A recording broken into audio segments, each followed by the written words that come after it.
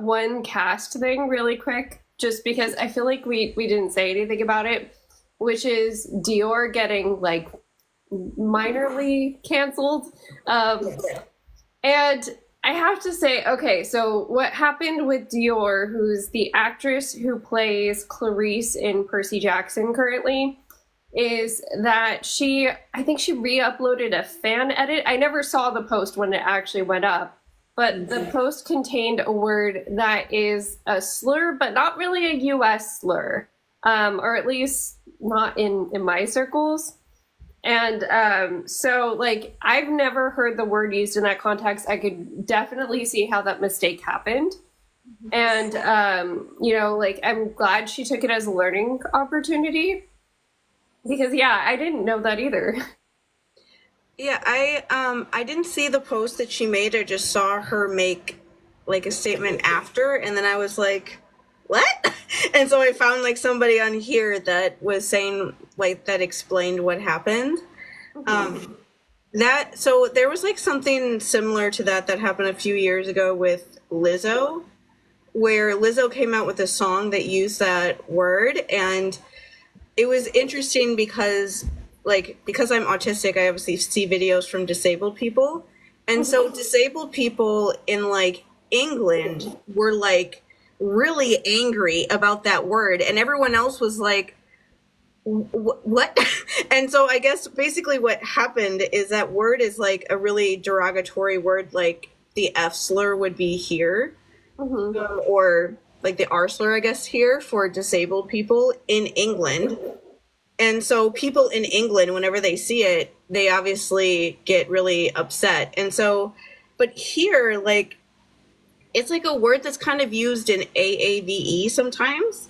Mm-hmm. And so that's why like Lizzo said it, like Beyonce came out with a song around the same time where she also used it a few years ago. And so like I'm not like I'm not like necessarily like surprised since Dior is also black that she would use it or like post a fan who used it or something, whatever whatever it was Yeah. knowing that it was like a slur. And I guess the main thing I just wanted to say about that situation is that I see people online really like really like like knocking people down or like being very I don't know the right word, like very cor- like almost like corporal punishment about people like if somebody does something wrong, they just want to use that to say this person is garbage for the rest of my life and I hate them now and I want to like every time they post I want to bring this up in every post they ever make for the history of their life to make them feel bad.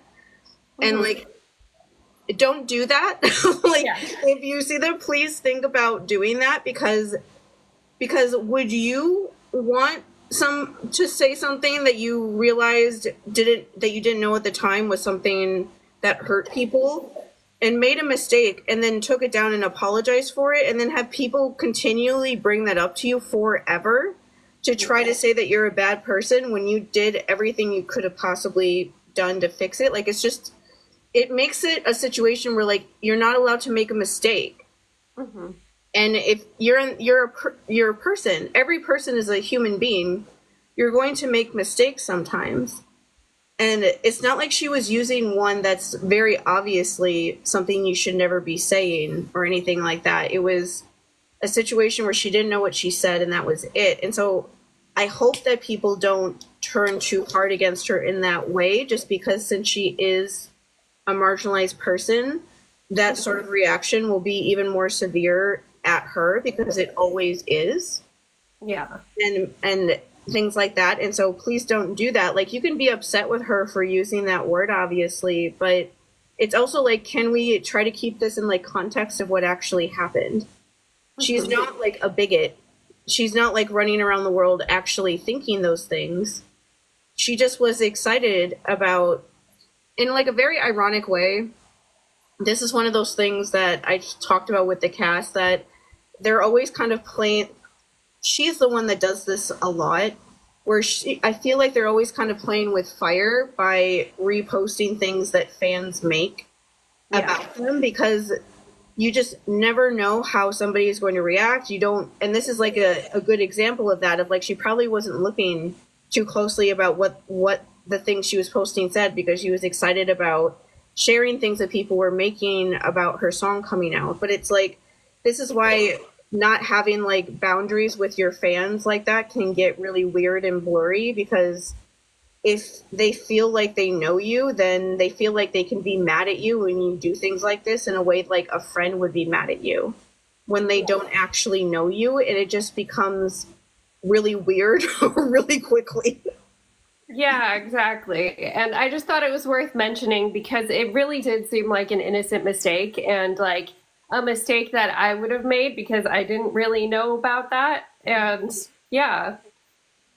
Yeah. Sometimes, like, people on the internet need to be able to make mistakes and apologize for it without being, like, raked over the coals for the rest of their life because they made one mistake. Because nobody wants to live under that sort of anxiety of knowing that if you ever do something wrong, then anything you've ever wanted to do in your life is, like, ruined forever. Yeah. Like, that's not helpful in any way. Exactly. Yeah, um, I don't think there's any other fan news necessarily. I mean, uh, well, I will say the one thing that I thought was funny in like a very annoying way is we did our whole huge episode about Luke. We spent probably an hour mm-hmm. talking about how he's not a revolutionary. Oh, and yeah. then Charlie the actor does an interview with a magazine where he says, "I think Char- I think Luke is a revolutionary, and I think he just he got lost along the way, but he just needed to. He was just doing what needed to be done." And and like in this like interview, he's talking about how before season one and then also before season two, he would like listen to Percy Jackson podcasts to like get an idea of like how to play his character and i was like he will never listen to our podcast yeah I like, oh my God, you will never listen to our podcast. And now I feel like I have personal beef with you because now nobody is ever going to shut the fuck up about saying that Luke is a revolutionary. And like, the one thing I'll just add on to our gigantic statement we made is that generally, just generally, if you call yourself a revolutionary, but that revolution magically makes you the one in power and everyone who doesn't like you is dead you're usually not actually a revolutionary. like exactly. that's that's a dictator. Yeah, and um, I mean, he was saying part of the revolution that Luke was fighting for was for there to be no more gods, which, like, I I don't see how that fixes anything. Well. Especially because I thought your best friend was Kronos. Mm-hmm. Is is he not a god? Like, I mean, technically a Titan, but still, yeah. the Titans aren't any better. They didn't care about humanity either. And like the gods are immortal. Mm-hmm. Where are they gonna go? like they're never they're never gonna die.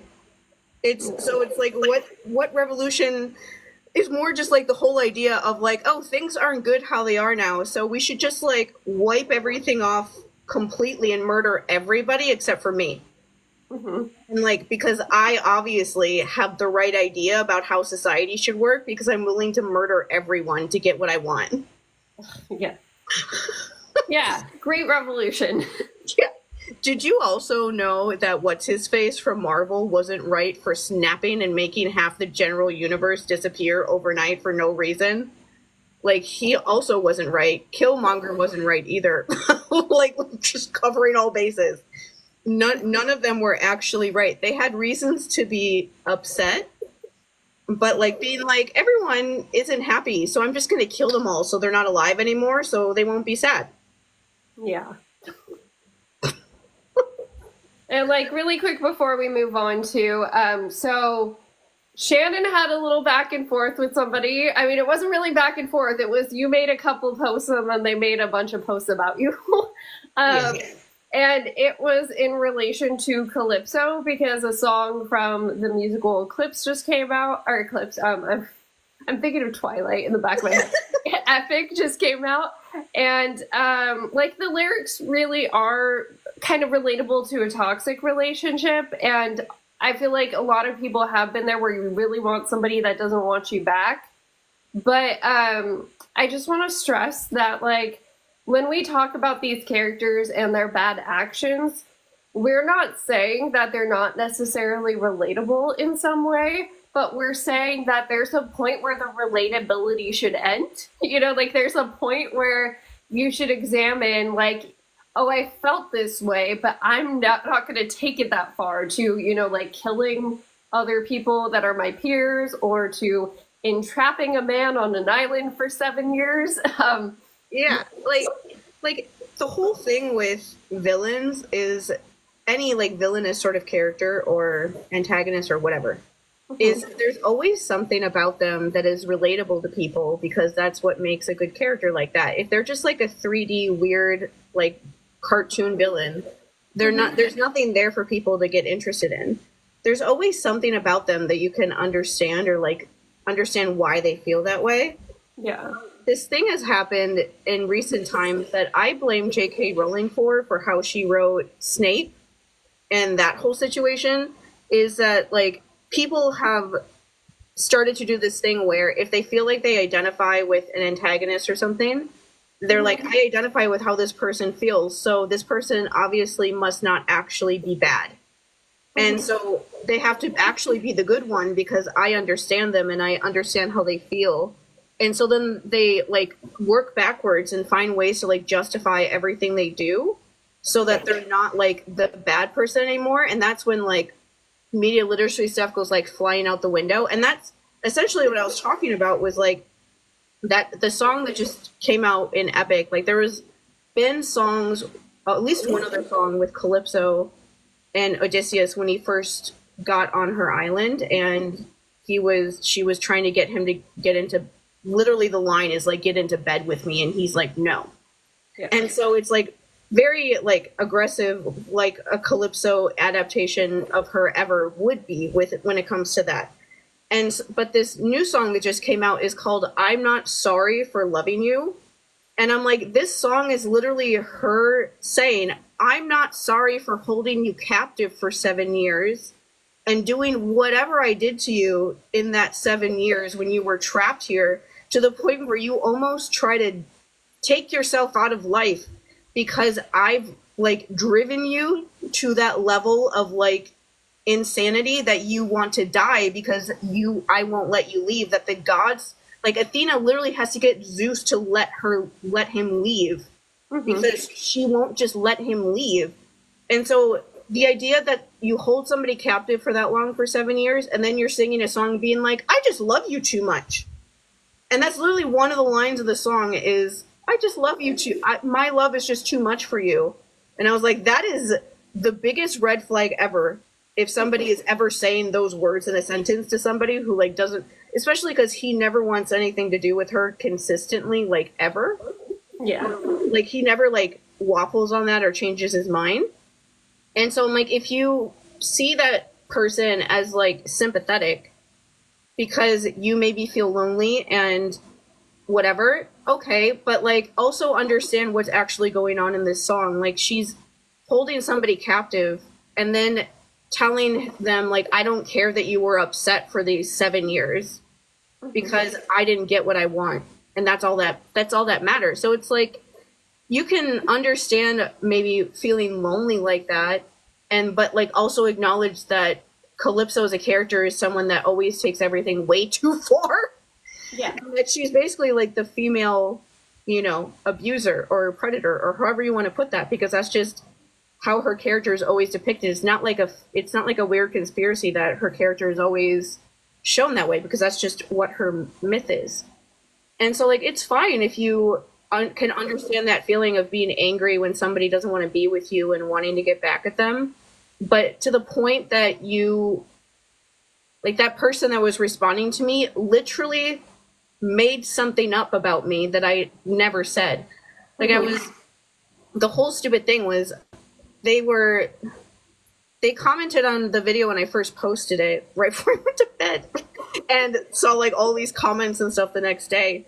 And a bunch of people underneath her comment was like, What are you talking about? Calypso is not sympathetic at all in Epic. She's still really manipulative. This song is her manipulating, trying to manipulate him and so she deleted the comment and then came back a couple hours later and was saying things like she was trying to say like are you saying that the person who created this musical is like romanticizing essay like sexual assault because because of this song and i was like no i'm saying that you are.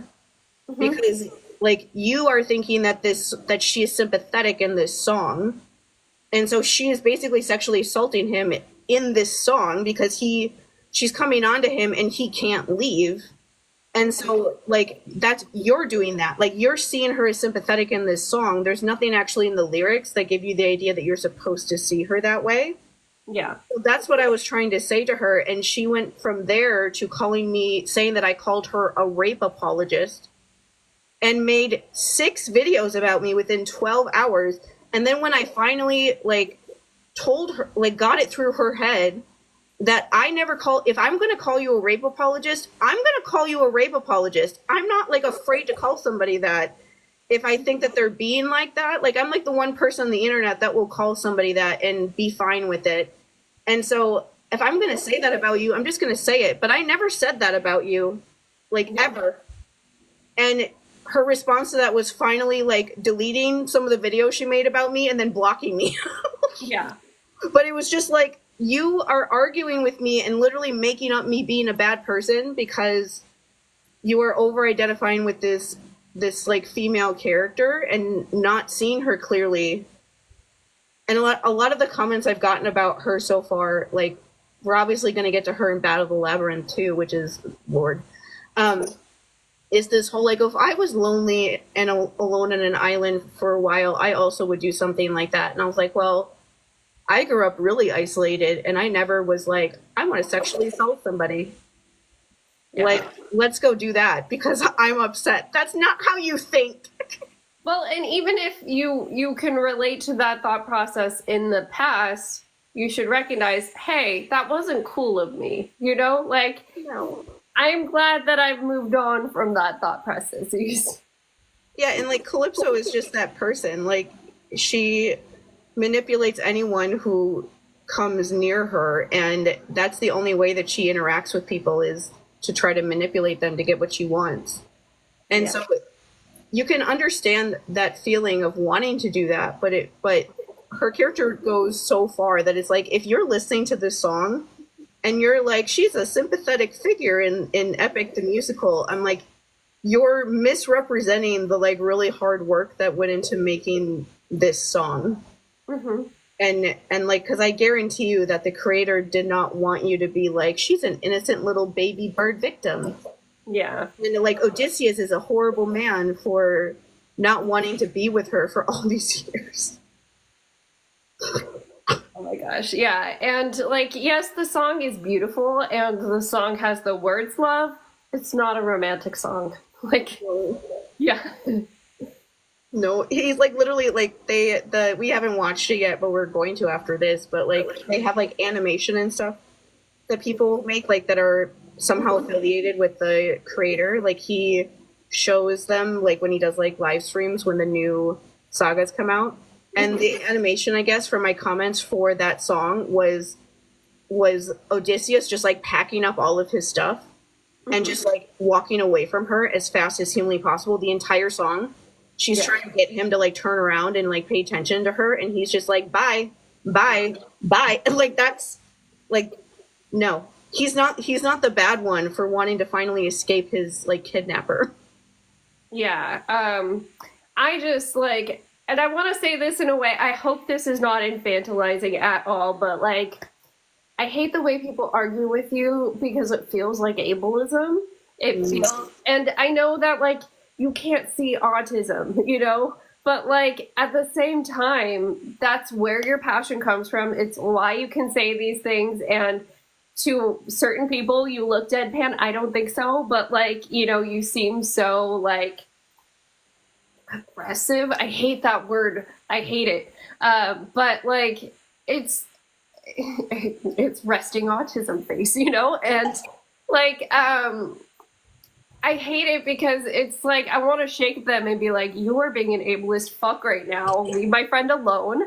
but like, I, I don't know. I it just sucks, and it sucks because like if they would get past their uncomfortability with the way that you say things and the expression on your face or whatever, then they would probably be like, there's some truth to this, you know, and maybe I should re-examine how, what I'm thinking. I honestly think that's a big part of why people get so mad at me is because there's something in their brain that knows that what I'm saying is is like accurate or correct in some way and they don't like that because they can't completely disregard it and I I'm going to try to figure out a way to say this, but I also think it's a thing of I know that I'm right about certain things and there's literally nothing that anyone, especially a stranger on the internet that I have never met and I don't even know who they are, mm-hmm. I there's nothing that those people could say to me to get me to like give in and change my mind. Like I have like survived my entire life. This is like the only thing that I have really that's positive from that experience is being very confident about what I do know when it comes to this sort of stuff about manipulation and abuse and stuff. Mm-hmm. And so they like pull out every trick in the book. Like they try to shame me, then they try to like be nice to me, and then they go back to just insult. Like they do every every trick you can think of to try to get somebody to just like change their mind because you want them to agree with you. And I'm just like, no, I don't. I don't agree with you, and I'm not going to change my mind. So you can keep talking to me, but I'm not gonna. I'm not going to change my mind and that's basically what it turns into and i think that's what gets people mad and it's just like you don't have to i don't have to agree with you i'm just a person on the internet you can just move on with your life and like i do try to give people time to like i don't want to block people right away because i do know that stuff we talk about is like you know emotionally charged subjects Mm-hmm. And so I know that a lot of times people will react at first and then they'll like calm down and not be like that, but sometimes they don't calm down. Yeah. But I do know that it's like a thing with me that people have like my entire life they've always thought they've thought that I think that I'm better than them. They thought that I am like angry when I'm not actually angry. I, I'm just like passionate. I just speak passionately and that comes across as like anger and aggression. Mm-hmm. And at this point, it's like whatever. I don't care. like I'm not like in a way of like I care when somebody like makes that many videos about me and is like per, like reading the words that I'm saying on the screen and like telling me that they say something else than they than they say. That like that freaks me out, but and I don't appreciate I don't like it when they do stuff like that but at the same time i'm like i'm not going to change how i communicate at this point because it's like the double-edged sword that the people that do like our videos and stuff because of me. They like me because i'm like that. Yeah. So like it's way more of like a positive reaction than a negative one. Like even the video that i did about luke like saying he's like the percy jackson version of a school shooter basically. Like there's a a couple people in there that was like that was like a wild first sentence but you're you're completely right. Yeah. And so it's like yeah like if i'm sitting there i'm gonna sit there and explain to you why i feel like that i'm not being clickbait or like clickbaity or trying to like you know rage bait you or something i have a reason for why i'm saying what i do mm-hmm. and so most of the time people are like oh okay like even if they don't agree they'll just like move on because they can at least tell that I'm not an idiot or I'm not being like, you know, mean on purpose like people can be on social media.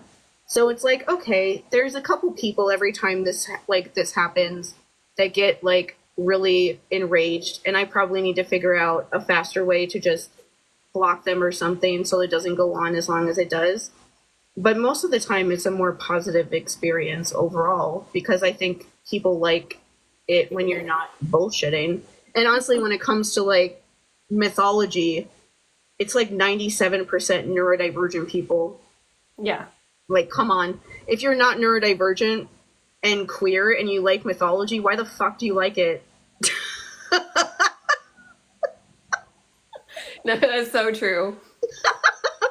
yeah, and um, I mean, like to hit on one other point this person made, it, they like said something about, oh, well, other adaptations where they have abusive or manipulative people and they they turn them into good figures. Oh, you're okay with that, but you're not okay with Calypso. No, we we have it out for all of them. Um, there is not a single manipulator or essayer or like anything like that that we haven't called it out for what it is. Yeah, we're equal opportunity with that. It doesn't matter like what gender you are, who you are. We are the same with everybody.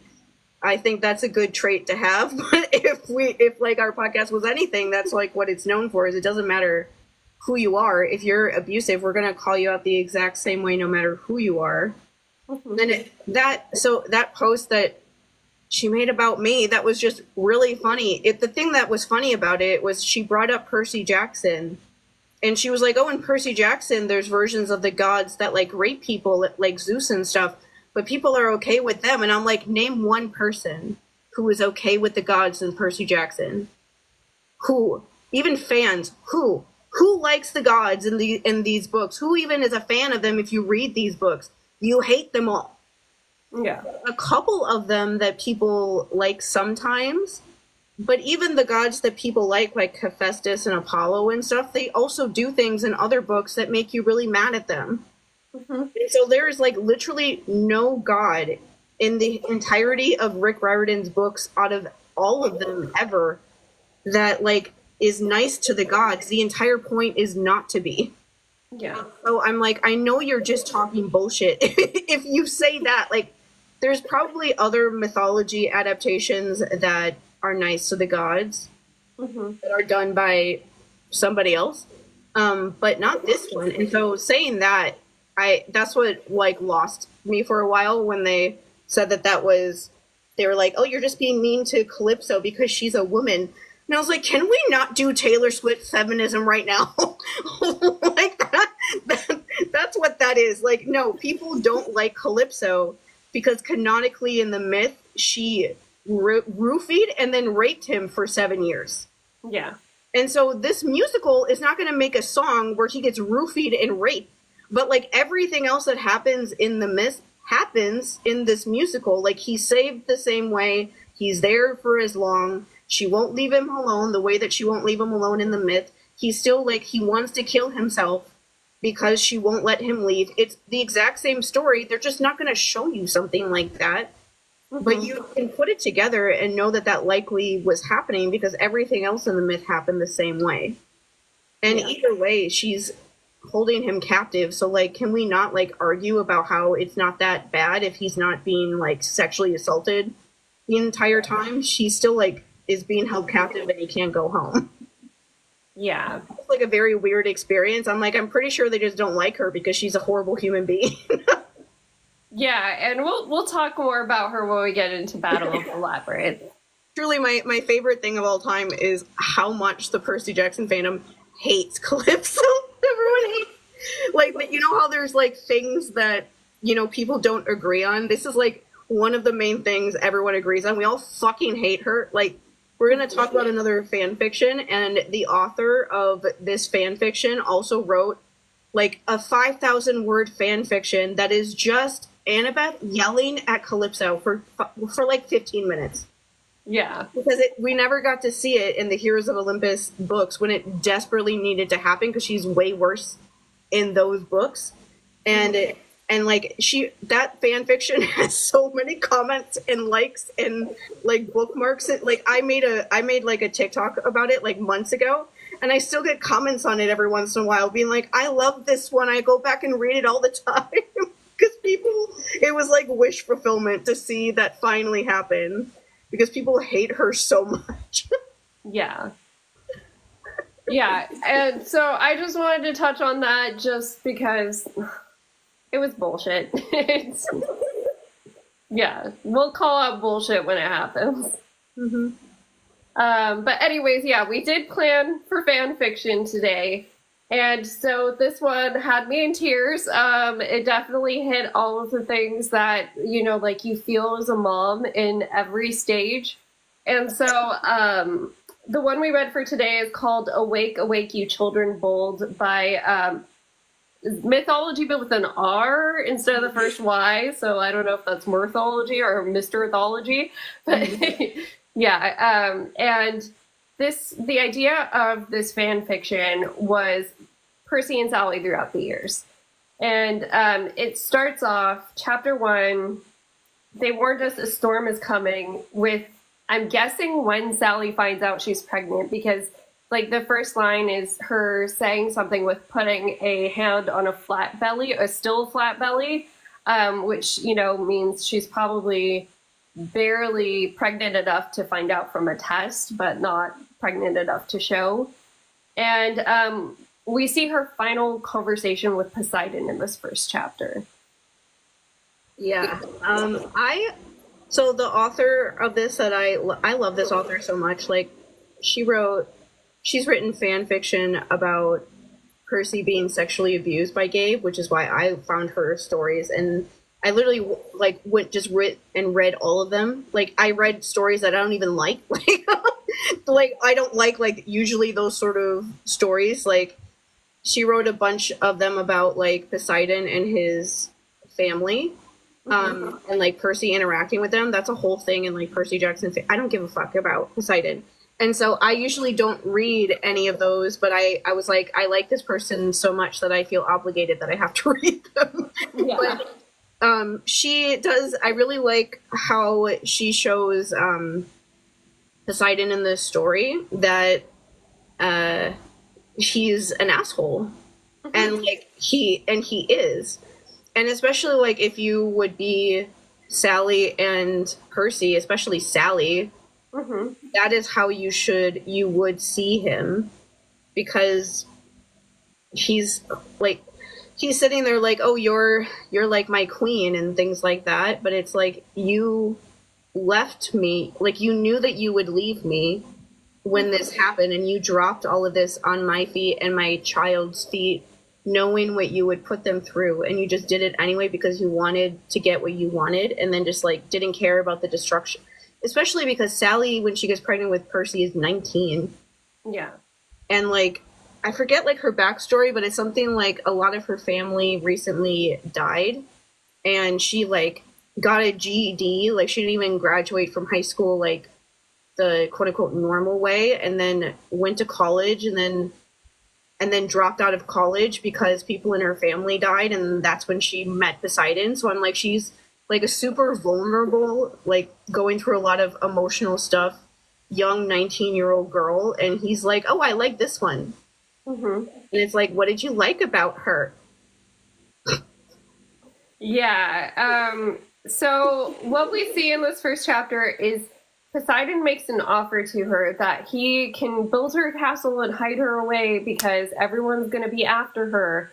And um, this this thought comes back throughout the rest of the chapters of this fan fiction of like, okay, what if I had taken him up on this offer?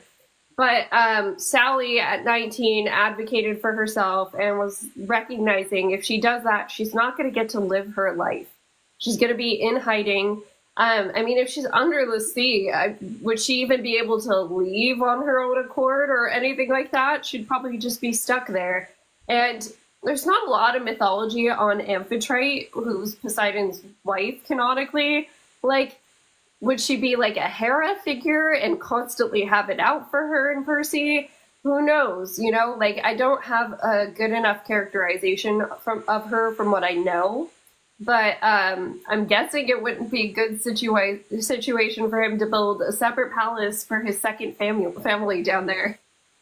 Yeah, and it's true that it would essentially be a situation where they would be held captive mm-hmm. in a weird way, like because if if he was like just stay in my palace, they would never be able to leave because if if Percy knew that he was, you know, Poseidon's kid from the time that he was like born and was growing up and stuff, then people would monsters not only more specifically the other gods would know about him right away or like if they if Poseidon didn't want everyone to know about him mm-hmm. then they would literally like have to stay there and never leave.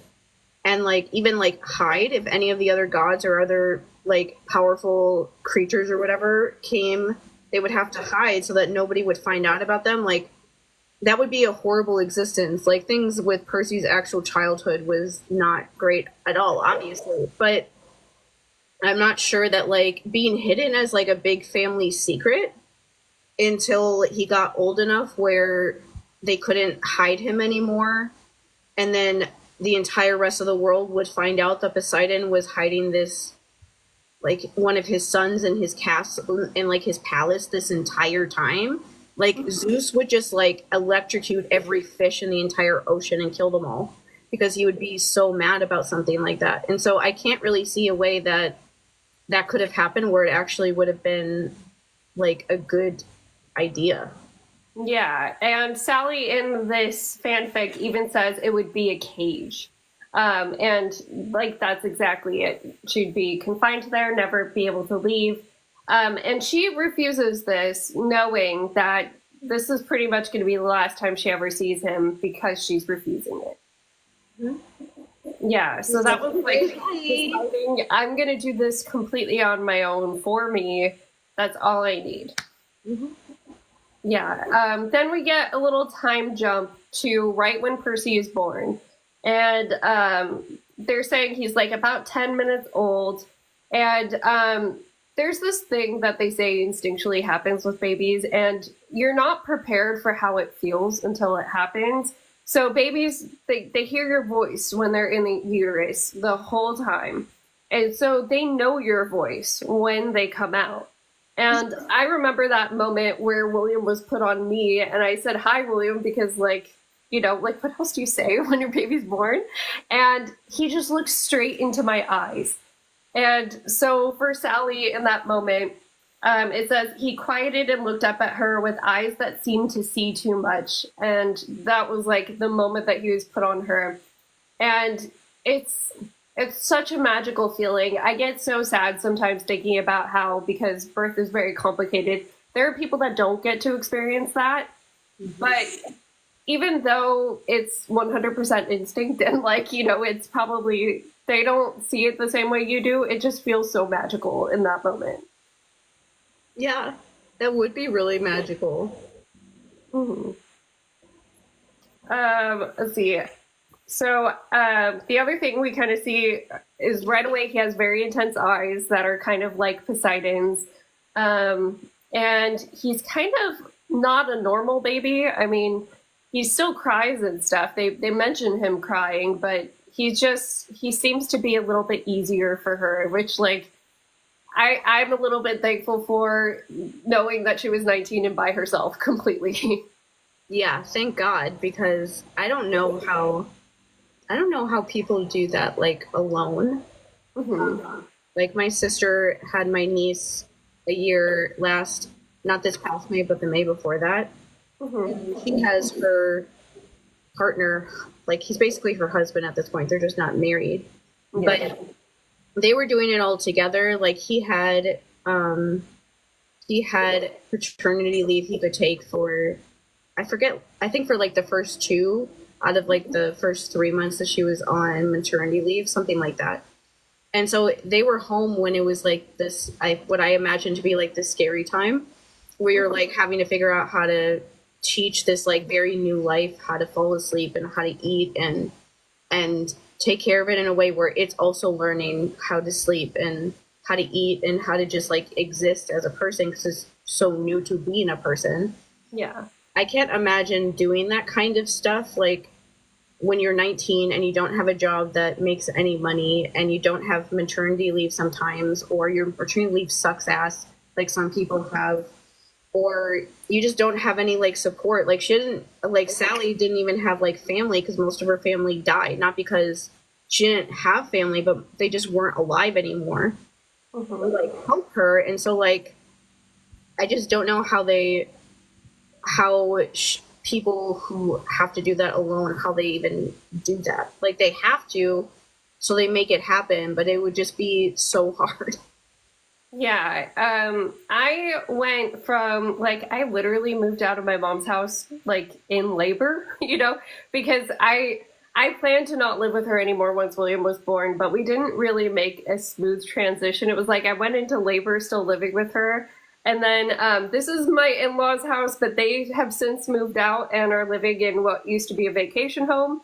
And um, so it was them and it, me and Jake. And um, I had people my mother-in-law fed me like every single morning. She would be like, since I can't give him a bottle and you're breastfeeding, here's food, um, you know?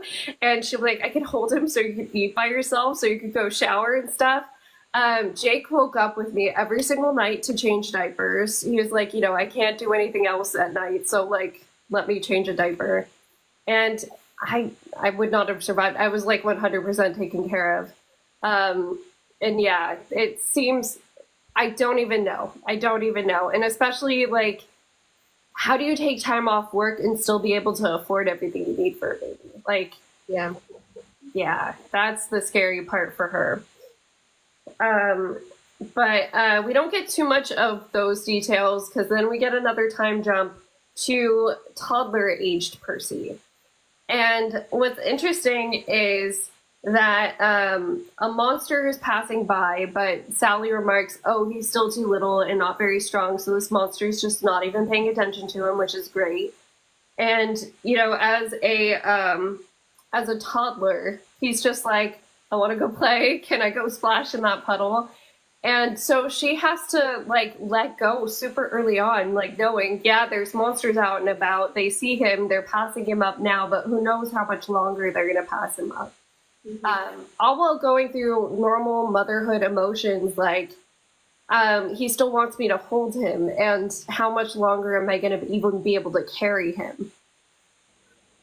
Yeah, that is so. That's so much. Like you're already afraid when you have a little kid like that in your life that they're somehow going to die or like get hurt or something bad is going to happen to them because like your mm-hmm. entire like soul will explode if it, if something bad would happen to them but like it, but like with him there actually are things after him so it's not just like that like anxiety thought of of worrying about something bad going wrong like something bad is going to go wrong yeah. and it's it and it's just a matter of time that's so complicated especially because he's so little mm-hmm. then that he there's no way that he could ever know what's going on because he's way too young to even conceptualize something like that but it's like always it's like a i the way i picture it is like it's hard to enjoy like the good quote unquote good times mm-hmm. like this before gabe was around because that like like dread or like um of waiting for something to go wrong was always there. Yeah. And that's just really hard to deal with how to handle something like that. Yeah, and I mean, thankfully, Sally is able to be like, I don't know how much longer I'm going to get these moments. I'm going to play with my son. Um, that scene has Percy splashing around in a puddle, and she goes and joins him, even though she's getting wet and dirty too, mm-hmm. um, which is just super sweet. And it kind of goes to show that like it was always about creating as many good memories as possible for her. I mean, I know the Gabe thing kind of is isn't in line with that, but um as much as possible, that's what she wanted to be was the soft place for him because she knew one day he was going to have to go out into this world that has it out for him. Mm-hmm. Yeah, like if, if even if these things are going to happen to him and I can't control it, at least I can control how he feels around me and have that be something good in his life no matter what else is going on. Yeah. Um, I believe he's still toddler aged in the next little kind of jump we get. Um, but one thing that I like wrote the exact quote down, he raged against perceived injustice in the world itself at times, which like the toddler stubbornness when they're like that, oh my gosh. Because toddlers 100% have a mind of their own. I mean, um, you know, people say terrible twos or three-nager is another one that I've heard. Um, and when they're coming into their own and realizing, like, I can say no, or I can do things that aren't what I'm being told to do, um, they're forced to be reckoned with. So the fact that she was noticing for him, it was already about justice and injustice is kind of cool. Mm-hmm. That's very Percy like. yes. Um, so in this chapter, they note that Sally is trying to shield him from how much she's struggling but Percy somehow always knows. Um, so, you know, like little toddler Percy is offering her food when they don't exactly say it, but she's probably going hungry to make sure that he's fed because she's stressing. I'm always making sure he has enough, but then he offers me his food and won't take no for an answer. Um, and yeah, it's it's so sweet to think of little Percy like that, but also so sad at the same time. Yeah. That's one of those things that I over identify with because I was like that with my mom too and it, my sister, but especially my mom. Like growing up, I could always tell when something was wrong with her, even if she wasn't telling me. Mm. And it, when I was growing up, I would just sometimes ask her or just tell her like i know that something is wrong like stop stop like acting like there isn't just because it would bother me. And she would say that to me that she could tell when something was wrong even if i didn't want to tell her what it was mm-hmm. and things like that. And it's just it is really hard. Like i'm sh- i know for sure my mom wanted to hide a lot of that stuff like from me like worrying about money and not having enough money for food because we never had enough money for food like mm-hmm. ever like uh there was maybe a few years when i was little but most of life we never had enough money and um this is like aging me obviously but when i was young was in the 90s where like the internet was there but it was not at all like it was now mm-hmm. and so when we used to go to like the ATM to like take out money because that's the thing that people used to do yeah. before like online banking was as like nice as it is now and things like that. But mm-hmm. um, my mom sometimes on the weekend would go to take out money out of her out of their account and there would be like hardly any money left in it when she had gotten paid like the day before and she would have to call like the bank's like 1-800 number to find out like what charges were even there. And it was my dad spending all of their money. Oh, and on stuff that does not matter like did not matter at all. They didn't have like they, we didn't have enough money for my mom to like buy food or pay their bills. And my mom spending and my dad spending all of their money at like menards buying rocks and bringing me to menards and making me carry rocks around with him for some reason. And so like she would sometimes go home come home on like saturday mornings and i would see her like being upset and she would be trying to act like everything was fine but i'm like i can tell this is like your fake happy voice. Yeah. Like just stop acting like that. Yeah and i mean sometimes things are so bad you can't really hide them from your kids. So like william was four when i started going through all of my stomach problems Mm-hmm. And not only was he like old enough to recognize like, oh shit, there's something wrong, but um, there were times where it was just me and him in the house because it happened right after Jake started chiropractic college. And so Jake would leave at like 5 a.m. and then I'd be awake and in pain and like I'd have to call my mom and my brother to help me out. Like my mom to go drop William off at daycare and my brother to drive me to the emergency room. Like that was the very, very beginning. And I still wonder to this day how much that stuff affects him because he's had nightmares before about losing me.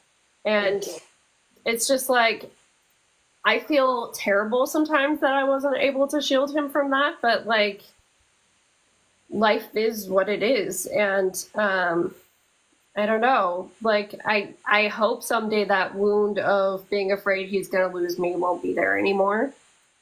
Yeah that's well that's honestly one of those things that can be helped just purely with age because when he's older he can talk about like remembering that stuff and now he has like context of what was going on.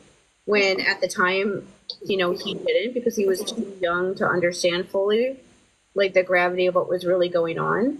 Um, but as he gets older, that's something he can understand, and it will be like, at least the way I look at it is like it would probably be less scary once it becomes more clear what was really happening there.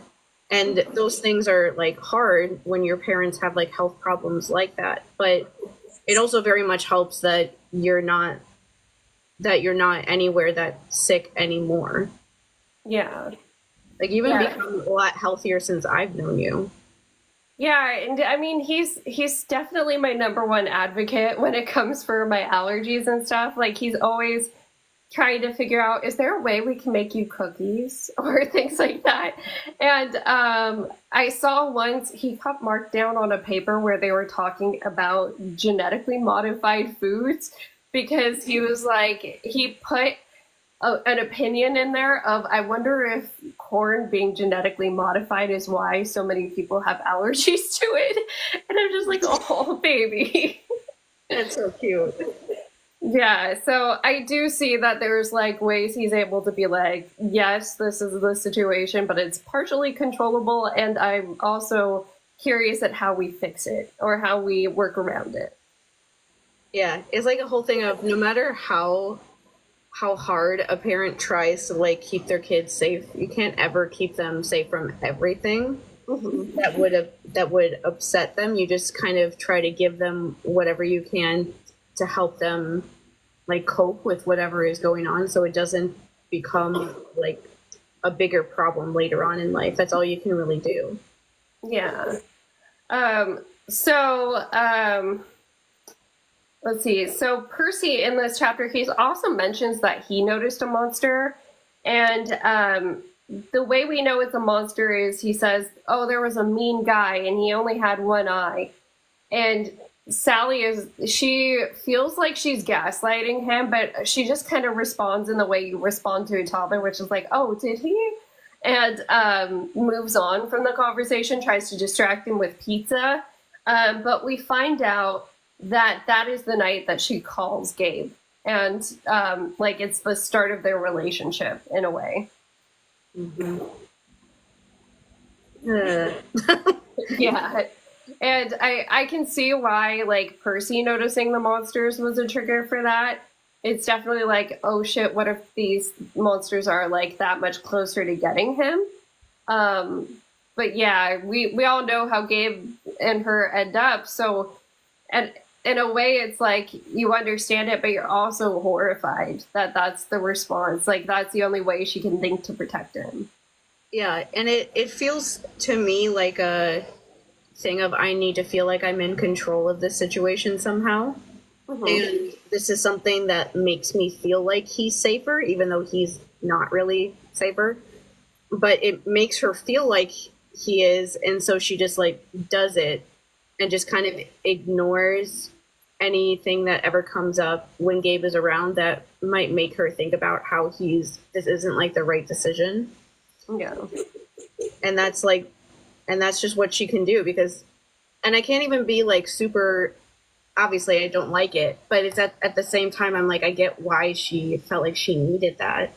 Hmm but it's just it really sucks that her way of like dealing feeling like she had some control was like let me invite somebody really bad into our house and expose my kid to that because that's better than a like a scary monster that feels like it should be in like a children's book and not like in reality. Yeah. Um, so that was the stop or the ending of chapter one. Chapter two is called Just Like Falling Snow. And um, it starts right away with Percy's like thought of, you know, his mom is his favorite person. Um, she's the person who sees all the effort that he puts in. Um, and so he tries to make her proud by like little kid brain doing what he's supposed to do, which is trying his best in school and eating his vegetables, things like that. Um, and let's see, it, he um, kind of says to himself in his brain, because we get a little bit of his perspective in this fan fiction throughout, um, he would be good, kind, just like his mama. Um, and in this chapter, we see also Percy start getting comments about not having a dad, um, which I don't know. Is I hope that that's not a thing that still happens. I feel like maybe it also is showing, you know, like that some of us that read this and also Rick Riordan's age. I know he didn't write this fan fiction, but like, I don't think it happens that way anymore. At least I hope it doesn't. I hope it doesn't happen as much. I honestly I don't know, but I do know, I like it makes sense in my mind where those questions come from when they're not like kids like making fun of you, but more just like wondering because they because little kids like they on, they only know like their experience. And so if they have a mom and a dad and they go to school with somebody who doesn't, they're like, "Well, where's your dad or where's my or where's your mom?" because it like opens up the idea that like something could happen to their mom or their dad. Like um my sister's partner's like brother has kids that are a little bit older. And one of them is like nine is 10 now. And the couple times i've met her and cassie's been there she's asked us like where our dad is and then we try to explain that he's dead without making her immediately start thinking about something happening to her dad. And so I feel like that's where some of those questions come from when it's just kids innocently asking mm-hmm. um, and not being like, you're stupid because you don't have a dad. Yeah. but at least I think that's where it starts is like being like, oh, I love my dad and I love my mom. So why don't you have both of these people?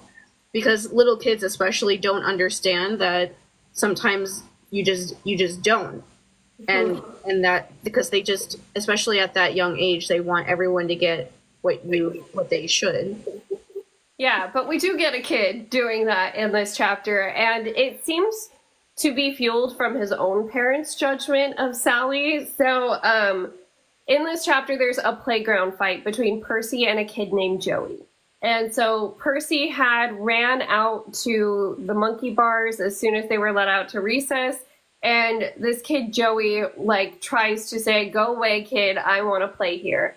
And so Percy says, "You know, my mama says we're supposed to take turns. We're supposed to share."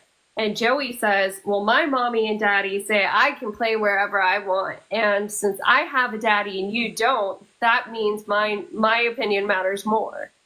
And um, so, hold on, where's my next note?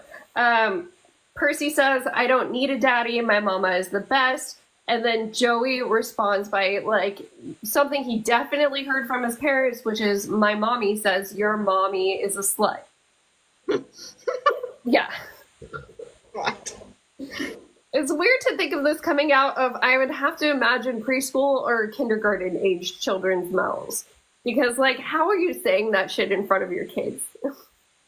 People do. Yeah. I, it's just it was it was definitely jarring a little bit to read that part and um, so percy in true percy fashion he he wants to get him to stop but he's like at this point you know you insulted my mom. I don't really have control over what's happening anymore. And he pushes joey. And that's when the next part is the teacher intervening. And percy's just like my mom is not going to be mad at me. Like um yeah. No.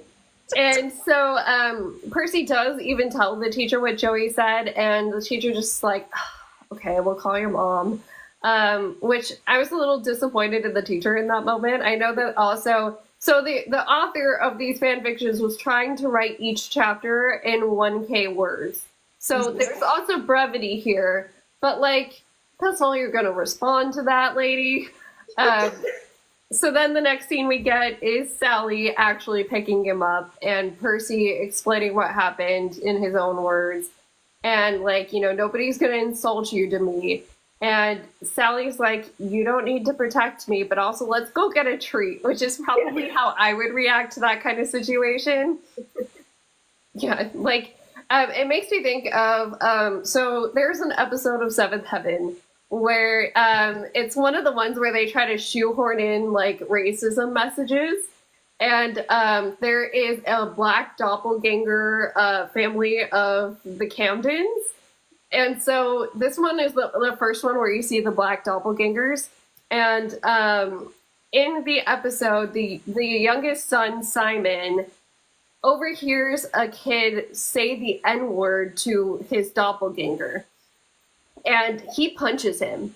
And um, like the message that the Camdens eventually get to is like, yeah, that kid shouldn't have said that, but also don't punch him. I would have been like, punch him harder. punch him. I was little. I was talking about this with my sister yesterday. Um, because I don't know how we got on this. Oh, we were talking about how her partner um, is the youngest brother from his family, and that the brother that's like two or three years older than him, I think, mm-hmm. um, he was once being bullied by somebody at school, and then that brother showed up and um, you know beat up the kid a little bit, and that person never bothered him ever again for the history of his life. And he was like, "Yeah, um, if you want to know like rage." like anytime anyone tried to do anything to Cassie, I would actually like threaten to kill them. And I like and I was like I never like talked then either and so it like always shocked people when I was like that, but like the, story that we Cassie like was like, "Are you thinking of that time on the bus?" And I was like, "That's one of the times." But like when we were when she was in like seventh grade, I think, and we were there was this kid he was a really strange kid. He actually got caught a couple months after this doing something extremely bad to a girl who is disabled. So I have I had zero guilt before this, but after that I was like I remember my mom coming to me and being like I'm actually really glad that you did that to that kid. And I was like, "Yep." I like had no guilt before that moment, but I especially don't anymore, but he was he was just sitting across from her on the bus and was like taking her like mechanical pencils out of her out of her backpack and was like threatening to like break them in half and i was like we don't and of course my like overly parentified brain i was like my mom doesn't have any money to buy new ones and i was also like leave my sister alone so i'm sitting in front of him and i can't like stress how silent I was when I was at school, people would be surprised when I would talk mm-hmm. at all. And even when I talked, I would hardly make any noise at all. And then suddenly this kid is like taking my sister's pencils out of out of her backpack. I'm not even sure that he knew that she that she was my sister. And I turned around and grabbed his shirt and I was like, if you touch my sister, any of my sister stuff again, I will kill you. And he immediately like dropped all of her stuff and was like, I'm sorry, I'm sorry. And like Cassie got home and like ran into the house and was like, Mom, you have to hear about what Shannon did. It was so cool. And there was another story we that I was telling her about about when I lived with my a shitty roommate of mine that I told you about when I was like 21, 22 when I first moved out. Mm-hmm. Um, and we had like pictures up on our wall and we had a picture of my of my sister up on our wall with like other friends and stuff. And I worked at a grocery store then, and grocery stores are very similar to restaurants with how ridiculous the employees are and how like almost incestuous it is by how everyone is dating and everyone's going out and getting really drunk and things like that. And I didn't really do much of that, obviously, but everyone else was always doing it. And so my roommate was friends with a lot of those people. And one of those guys, um, one of those guys was on the phone with her and was talking about seeing a picture of my sister and thinking that she was hot. And the thing that he said was, "Oh, I can you invite her over for the next party because I want to be around when she gets drunk." And I took the phone from her and was like, "What did you what the fuck did you just say about my sister?" And he was like, "What? What what what did, I'm just joking. What is the joke?" I remember being like, what is so funny about you wanting to get my sister drunk so you can take advantage of her? I didn't say that. Well, why else would you say that, sir? Yeah. And I like he the next time he came over, I just looked at him and I was like, if you say anything about my sister ever again, I will beat you up. and I was not exaggerating. I was ready to walk back to Pick and Save and beat him with anything that I could find. Like, do not talk about my sister. I will kill you. and and I get like that way about I used to get that way about my mom too with my dad, where he would start going off on her. And the times when I would absolutely lose my mind on him, where I would just start screaming and crying at him for like five minutes in a row, like on like no pausing, and then hang up and not talk to him for an entire week was when he was calling my mom like a slut.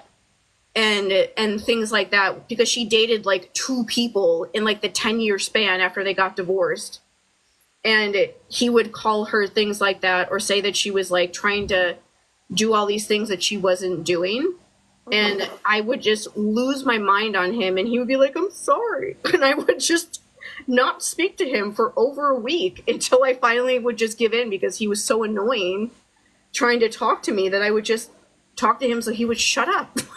Yeah. But like that stuff, like that sort of rage, especially when you're like the a, a only child like Percy or an older kid like me, it's like don't do that. Like you don't know what rage is actually like until you mess with like an older sibling or just an only sibling when they only have one good parent. Yeah. yeah, and I mean, Sally does tell him, like, oh, we should try to be nice to people even if they're not nice.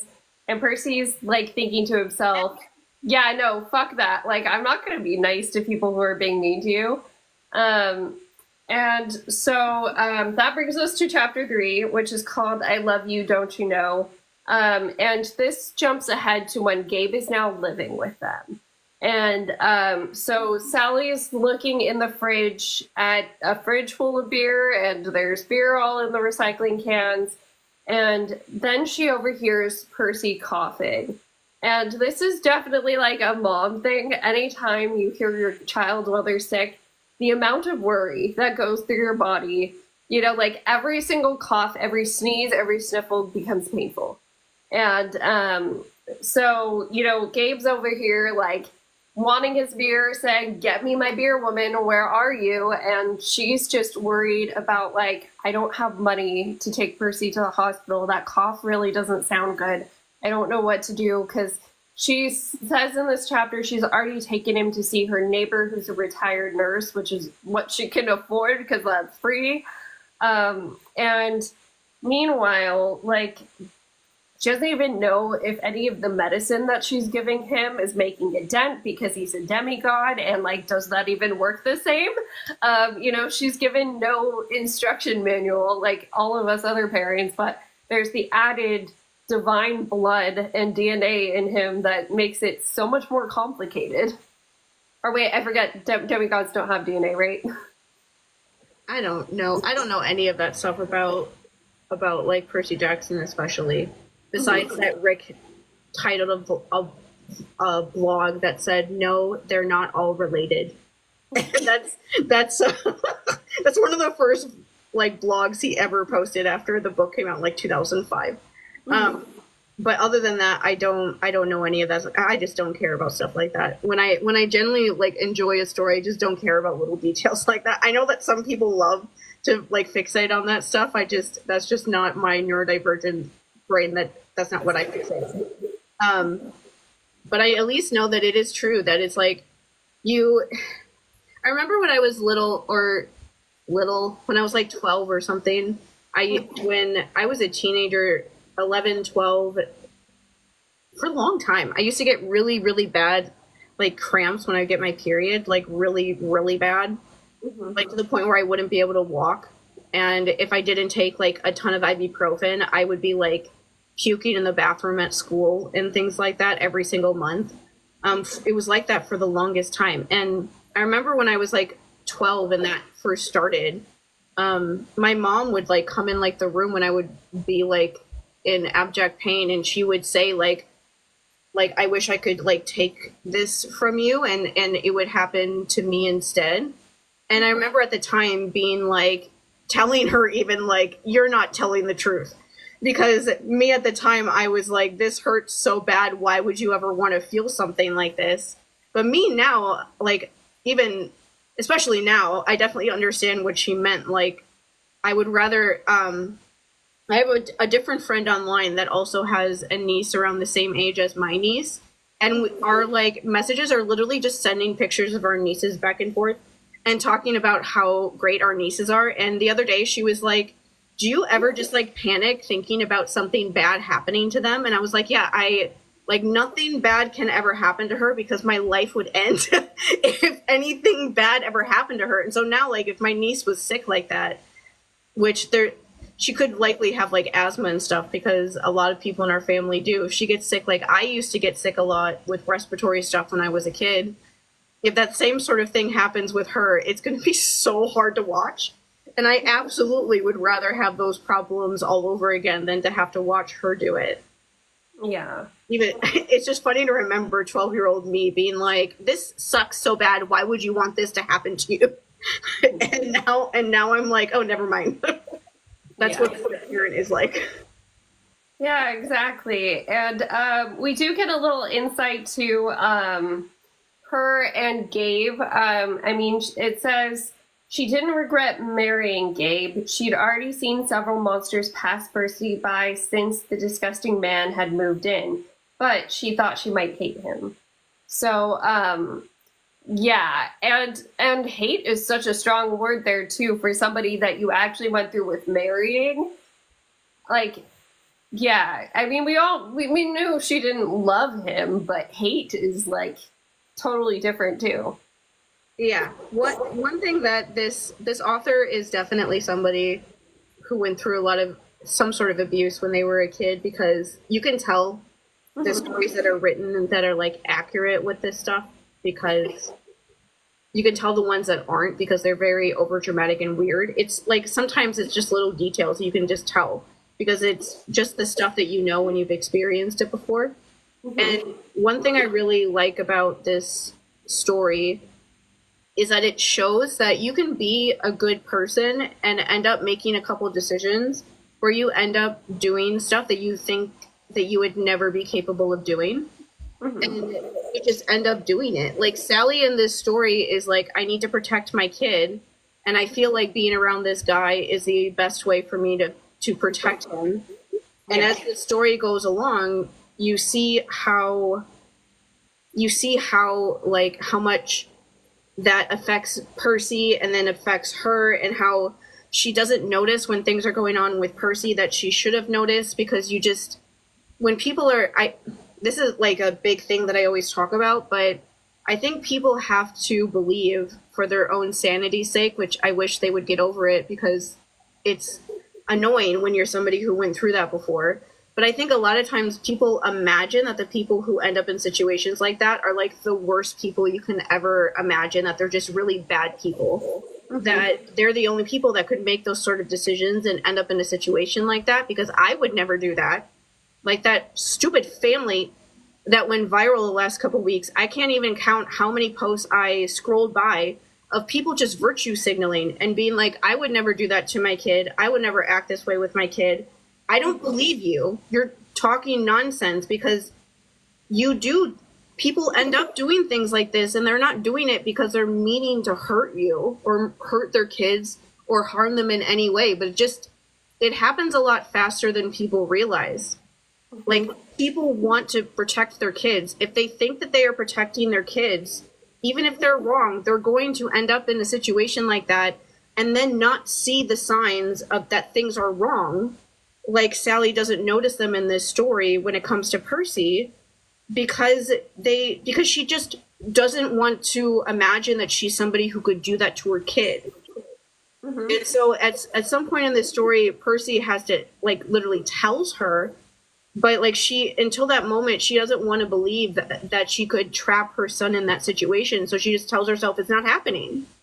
And that's genuinely how it happens. It doesn't mean that you don't get to be angry at them and that you don't have to hold them responsible and talk about about how that happened, but they're not monsters Mhm. are normal people. The other person hurting the child is the monster, but Yeah. usually the other person there is not like a monstrous being. And I think that people imagine them to be because they don't want to imagine that they're capable of that. And like, sorry to say, but every single person is capable of that if you're in a vulnerable enough situation and you don't have other people to help you get out. Yeah. Like, end of story. Yeah, and I mean, going along with what you said, um, the the story even says at this part she thought Gabe was ignoring Percy, um, and she's already dreaming of like, well, I'll just leave him once Percy's old enough to go to camp, or once Percy knows the truth. And um, I don't know, like this is definitely spoiling something that happens later in the fanfic, but um, we find out that Gabe likes to put his cigars out on Percy and that at one point Percy got a really bad infection. And it makes me wonder if this is that point because he is really sick. They don't know what's going on, and like, um, like what what if that was the reason why meanwhile she's thinking oh well gabe doesn't pay attention to him. It's all on me. And we kind of see that back and forth too of them both being like well if it's happening to me then it's not happening to them. Um, which is this is sally's turn in that kind of mindset yeah and that stuff that sort of thing happens a lot when there's abuse like that happening at home like i'm trying to think of an example i could say but with myself but that kind of stuff happened with me where i can think of so many times that i was like sick or something or thought that i was sick but it was like, like actually something else that was going on mm-hmm. and i just like didn't didn't say anything because i didn't want anyone to know or didn't think that i could tell someone even I guess like a safe thing would be like when I was uh especially like 9 or 10, I can remember that I didn't there were like certain foods that I don't like eating and I just didn't like eating in front of my dad because he would look at me and like literally laugh at me. Um with it without going like further into why, it doesn't matter, but he would just do that. And my mom would would ask me like why aren't you swallowing your food? Or like why aren't you eating your food? Or like why don't why do you not want to eat like around everybody? Like i would go into like the kitchen in the middle of the night and like eat when i couldn't sleep and things like that. And she would see that like i was eating but not when everybody else was eating. And i would just like not say anything because i didn't know how to like explain that stuff. And it's and there's a lot of times where things were like really wrong with me like i would be in like a lot of pain like I can remember times when I was like 12 or 13 where I would be like puking when I would be at home by myself and I wouldn't tell her about it. And then she would come home from one of her jobs and like find me sick like that. And I would be like apologizing to her for being sick because she would have to like go like like clean up the bathroom and stuff. And that was like the way that I thought about it was I don't want to make something more for her. But that's just like your instinct, especially when you're a kid in that situation, is you want to like per you feel you want to protect like the parent that is really nice to you from from finding out about like this really bad stuff that's happening because you don't want to make them sad. Like yeah. to be like incredibly like simplistic about it like you know that it's going to make them sad. And so you don't want to tell them because you don't want to be the reason why they're even though you're not the reason why they're sad that's the way you see it when you're a little kid. And so you just don't want to do that to them so you try to put it off as long as humanly possible. Yeah. Um, so Sally gives um, Gabe his beer, and then she goes to Percy. And um, I'm guessing at this point he's probably elementary school age because it says that he was already switching to calling her mom instead of mama. But like we have sick little Percy going, "Mama, please stay with me." And um, he asks her, like, you know, stay with me in my room, like, sleep here with me tonight. Um, and so Sally, she does stay with him as he's falling asleep. And as she's looking at him, she's noticing, you know, the baby features are starting to go away. It's definitely like sad and painful as that starts happening. You're like, oh, they, they have like a big boy face now. Um, with William, it always happened with haircuts, where I would notice it more and be like, "Oh, he looks so much older." um, and um, she also notices that as his baby face is fading, his features that make him look more like Poseidon are kind of popping. And um, yeah, we have that bit about like, does medicine even work for demigods? And she just chooses in that moment to soak him in again to like cuddle and you know like i don't know how long i'm going to be able to hold him like this i'm going to be able to be with him like this or he's going to want me around like this. So um yeah that's where we end the chapter is her just cuddling him and being like i love you so much. Very sweet. Mm-hmm. Um, chapter four is called It'll Soak You to the Bone, and this is where it gets into Gabe's abuse. So, um, Percy is packing to probably go to one of the many private schools he goes to or boarding schools. Um, and Gabe is lighting a cigar, and Percy's like flinching already, kind of knowing what's ha- happening. Gabe's like, Get out of here, you stupid kid, but then grabs him and like kind of draws him in, is like, I don't know. It, it didn't make sense to me because it was like the simultaneous like get away, but like I'm gonna pull you closer so that I can put this out on you. And um, what ends up happening is he puts the cigar out on Percy's forearm. Yeah. And I mean, this is a type of abuse that Rick Riordan didn't get didn't get into, but does make sense for Gabe's character and what we know of him. Um, I mean, in some respects, Gabe reminds me of Mr. Kokoschka from like Hey Arnold. Um, but like, of course, way worse because Mr. Kokoschka was portrayed as like a bumbling idiot, but like he he thinks that he's charming and funny. But Gabe is like the worst version of that, where it's like he doesn't work. He's sitting around playing poker, smoking, um, smoking cigars, like drinking beers, and just being a nothing. Um, meanwhile, like he's torturing this poor kid. I don't know. Yeah. Well, abusive people like that are like so weird because they're children. Mm-hmm. Like emotionally, like they have like like Gabe is at the same emotional level as Percy most of the time. Yeah. Like even in the TV show, they have him be impressed by the fact that Percy says that he beat a tactic kid at school, because that's like where Gabe is when it comes to like maturity. Is he's impressed by that idea, but um, when it comes to like stuff like this, they're like the most pathetic people because he has to like hurt an innocent little kid who's trapped with him who can't go anywhere or do anything without him because he's a kid mm-hmm. in order to make himself feel better about himself. And it's like, do you know how pathetic of a human being you have to be where the only way you can feel the way you feel good about yourself is by hurting an innocent child that can't escape you because it's illegal for them to leave and go somewhere where you're not there? Yeah. That's like they're the most pathetic people ever but the whole thing of like go away and then he grabs him is yeah they never make any sense. They like tell you to like go away or i'm done talk like my dad's thing was like i'm done talking to you and then and then he would start like ranting again. Yeah. And was like you don't actually listen necessarily to what they're saying because they don't actually make they don't ever make sense and so yeah. like that's one of the things that's very disorienting about it is that you can't guess what they're going to do. You have to like watch their body language um, more than anything to figure out what they're actually going to do because what they're saying out loud is not accurate to what they're actually thinking about or trying to do to you. Mm-hmm. Yeah, and um, I mean, we don't see anything that happens before this. Um, I mean, we can imagine Percy was just packing and just getting ready to leave for school. But it was like, why did he have to get that one last shot in before Percy left? Like, he's going to be gone. Because Percy was happy. Like, yeah. Percy was happy.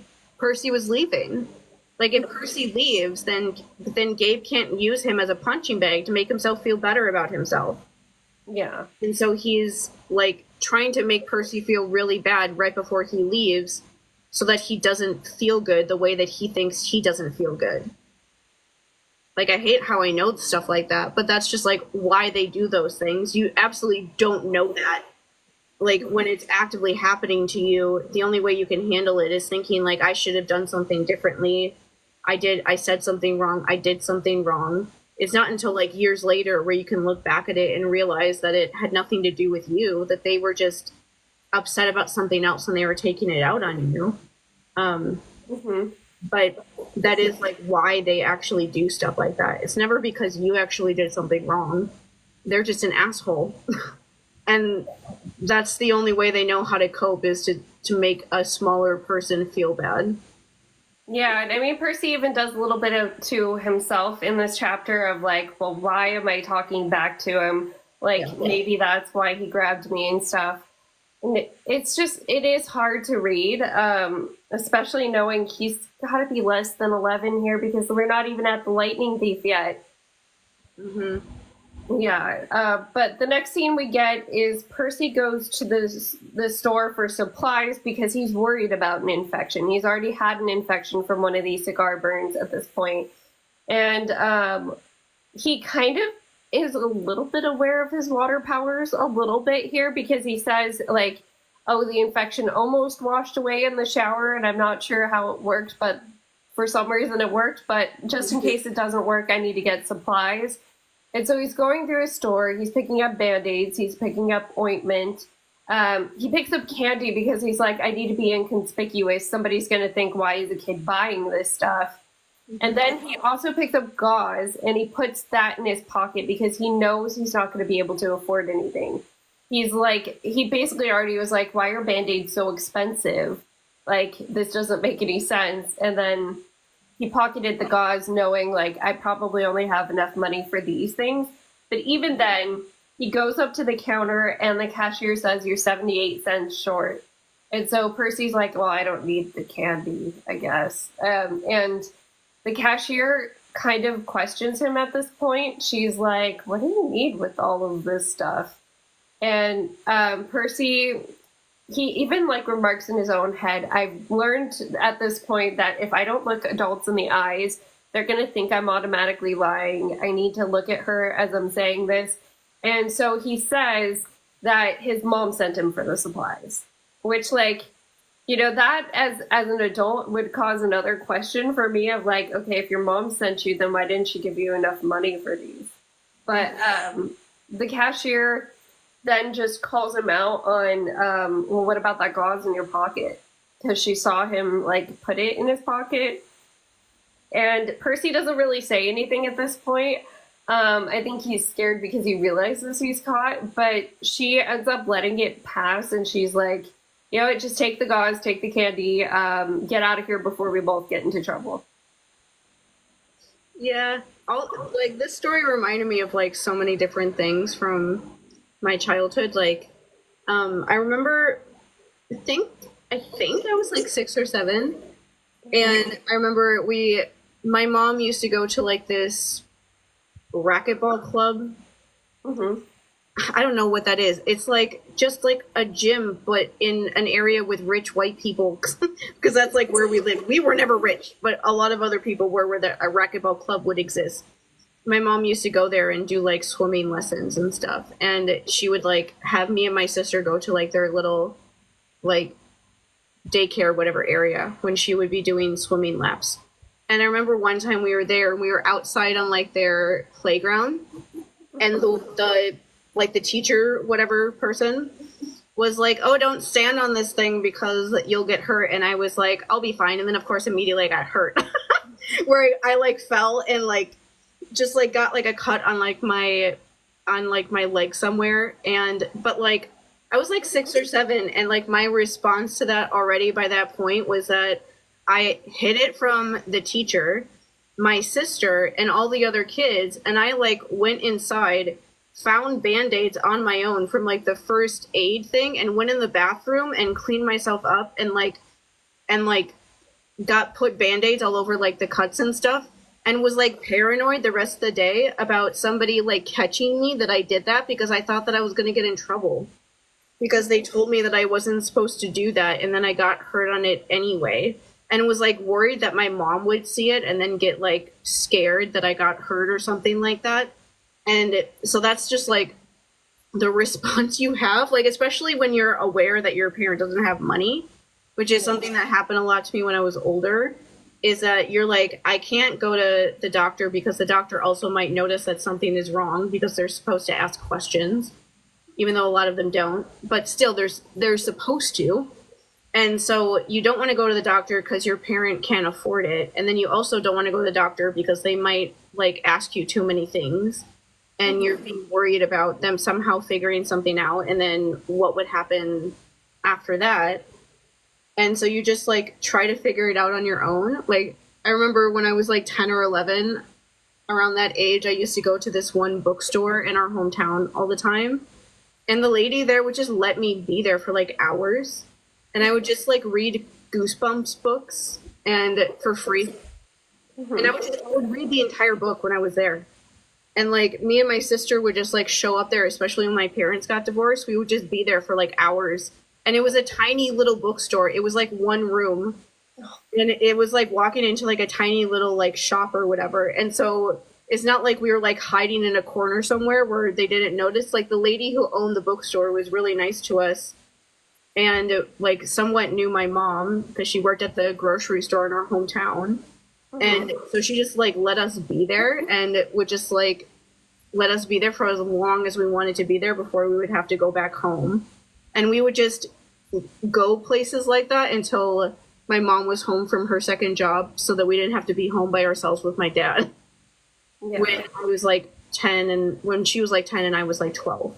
Um, Matilda. Yeah. Yeah, it's very similar to, we used to go to the library all the time. I freaking love the library because of that. Like the library is like a perfect place for abused kids because you can go there forever, like use their computer, you can like read magazines, read books, and nobody's there to like tell you that you're not allowed to look to like read that stuff. And you can read an entire book if you're me anyway and you read really fast. You can read basically an entire book in one day and not have to like bring it home where they would like ask questions about what you're doing and things like that. Um definitely i love libraries just for that re- and it's also very quiet. So that's always a plus. But yeah that reminded me of that so much of um like when the cashier was asking him questions i was like shut up. Like if you ask him enough questions he's not going to come back. Yeah.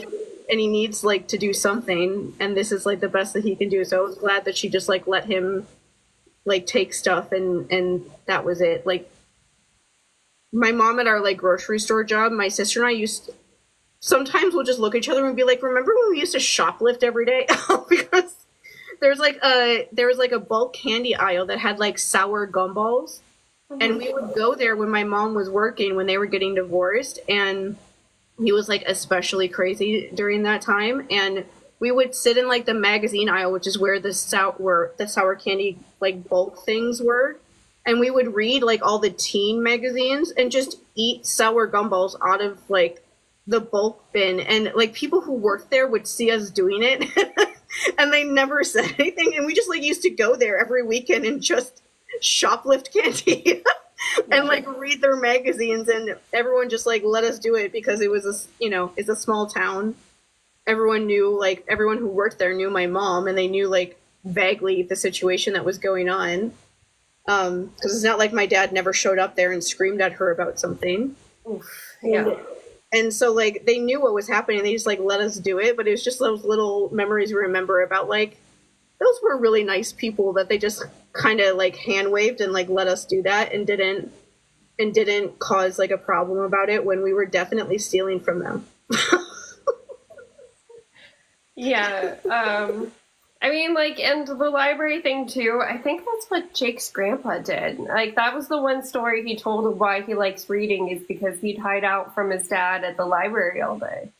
Um and the librarian knew him by name and would would talk to him all the time or like she would try to parent him a little bit from the sounds of it but um, he spoke of it with nothing but affection so yeah it's like nice affection of like oh you like notice that i'm a person and you like me and, and want to try to help me out sort of stuff mm-hmm. but yeah mm-hmm. I, I was especially obsessed with matilda mm-hmm. I watched that movie at least a few times, a lot of times, especially later on, but I read the book a bunch of times too.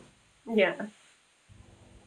Yeah. Um, so we close out the chapter, and I think this is where the title of it comes from. When Percy walks out, it is raining, and it says that rain is um, a measure of peace he he usually only felt around his mom when Gabe was out, and um, I it makes me think to that scene in was it the first episode where we see Sally sitting out in the rain, just letting herself get soaked? Mm-hmm. Um, because yeah, I mean Poseidon's also kind of associated with storms and stuff, so you have to imagine that that's part of the whole power and mystique of being a Poseidon kid. Mm-hmm. Yeah. love water. Then we get into chapter five, which is um, called "The Thunder in Your Lungs." And this is basically at the point of the lightning thief. Um, so Sally is about to take him to Montauk. She knows that these are going to be the last moments where Percy is completely innocent in her eyes, meaning innocent in that he doesn't know about the mythological realm. And um, so she um, she notices like his face looks more and more like Poseidon's, which is something she keeps saying as he's growing. Um, and they head off to the cabin. They clean together. They um, roast some marshmallows, and she um, she notices Percy likes to roast his marshmallows, but then he gets like distracted, and then they end up catching on fire anyway. And, but he's too stubborn to let her do it for him when she asks. So um, th- something about that just feels very classic eleven year old. Mm-hmm. Yeah, and then it skips ahead to the Minotaur part, um, which you know, like Grover is already with them. It's it's casually mentioned that Grover's here, but not really because Sally's not focused on Grover that much. Um, Sally knows that once this Minotaur is in their sights, there's no way that she's going to survive. So she loads Percy and and Grover into the car taking a moment of joy to realize that the car is probably not going to survive and it's Gabe's car and it's pride and joy. And then she um, she noticed or she thinks that if I could just get them to the border because I trust Grover to get him past, you know, like once they get to the border. Um, and we kind of get some of her thought process too as she's in the Minotaur's clutches. So um, the Minotaur is already grabbing her. She's like clawing at its hand and stuff. She knows she's gonna die. She knows that there's it's futile. But um, then she hears Percy scream her name in the background, and the way that she describes it in her thoughts is that it's it's the most beautiful sound, as if like the same cry from when he was first born, because she knows that he's alive behind her. Like she knows that he's somewhere alive and so she just tries to focus him as this Minotaur is taking her out. And um, the last thing that she says to him is go. She knows that he heard it, but um, you know, it says she um, then nothing, just the remnants of Percy screams in her ears. And what like really hits is the line in this part of that she would die a thousand deaths if it meant that Percy got to live once. Um, like while she is literally dying. Mm-hmm.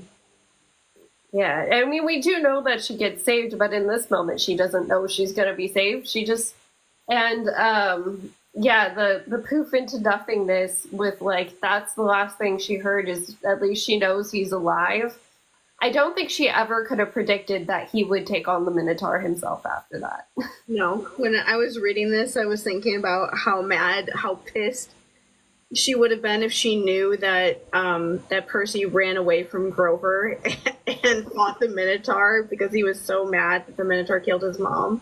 Mhm. It's like, dude, like I trusted you with one thing. Yeah.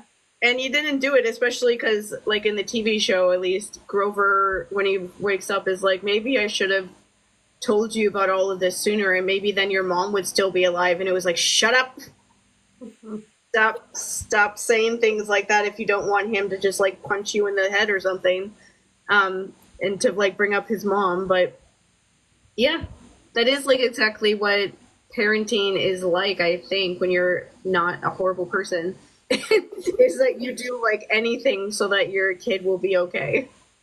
Yeah, and um it's sad because she's thinking this whole time while this is happening, Percy's never going to recover from this, but he'll be okay. He'll like he's going to survive. It's just like I mean, I have been depressed enough that I've had ideations before in my life, but once I became a mom, that really was a point where it was like I couldn't do that to that kid, you know, like and I do know that depression you can't really control it in that way that like you know sometimes it does get that bad that you start thinking even your kid would be better off without you. But um there is a part of me that knows like this kid is going to be so destroyed when that happens like and I mean even just the mention that I am a mortal being sometimes he'll be like don't talk about this like let's stop talking now. Yeah. It is really hard, especially when you're a kid as young as like William is to know that that's just something that is going to happen one day no matter what you do Mhm. it's like no matter when this happens it's going to be absolutely horrendous so my way of dealing with that is like i just don't think about it very much like other people dying i guess. Mhm. i just know that it's going to happen one day and if it when it does like it's gonna really suck and i hope that it's not something like really prolonged and things like that for anyone. That's horrible when it's like a really prolonged sort of death but other than that that's all i can really do about it. I know some people really think about it a lot but i'm not afraid of death um, in that way so i'm not afraid of like what would happen to them after they die or anything like that and Yeah. it is weird in this sort of world too where you know like actually know where the where like this person is going to end up Mhm. you know, at least they're going to end up in some level of the underworld and you could conceivably go and see them again when they're down there if you could figure out where they are Yeah. and it, when most people can't do that Yeah. Well, I mean, and Percy doesn't really know this yet either. That's the thing. and it's Uh, also just a thing of like her knowing like this is really gonna this is gonna be really bad but i don't know what else to do yeah. And like realizing this is probably just giving him more time to run anyway. yeah Yeah. Um, so then we get to chapter six, which is after the lightning thief. Um, and it's Percy looking at the statue of Gabe in the gallery that he got sold to. It says that Percy occasionally visits the statue. So, like, he actively goes and visits it. Um, while he's visiting it, he's like wondering what happened to Gabe. He wonders did he truly die? If he did truly die, I know that man didn't have any change for Charon to ferry him across. Um, so he would be in the unburied section of the underworld, which means like you don't even get to cross the ferry at all. Um, and he, it says that he liked the idea better that Gabe is still in that statue and Gabe is trapped and Gabe has to see that he's okay because that's the only way he could feel like he won. i'm like laughing because i know exactly what that's like Well, I mm. mean, I it's it's weird to put it this way, but that that's kind of what happened to your dad when you really think about it. Like because oh, he became nonverbal, not able to do anything by himself. As close to a statue as you can get. Yeah, and also it's also just something that I think about even now. Like you're dead.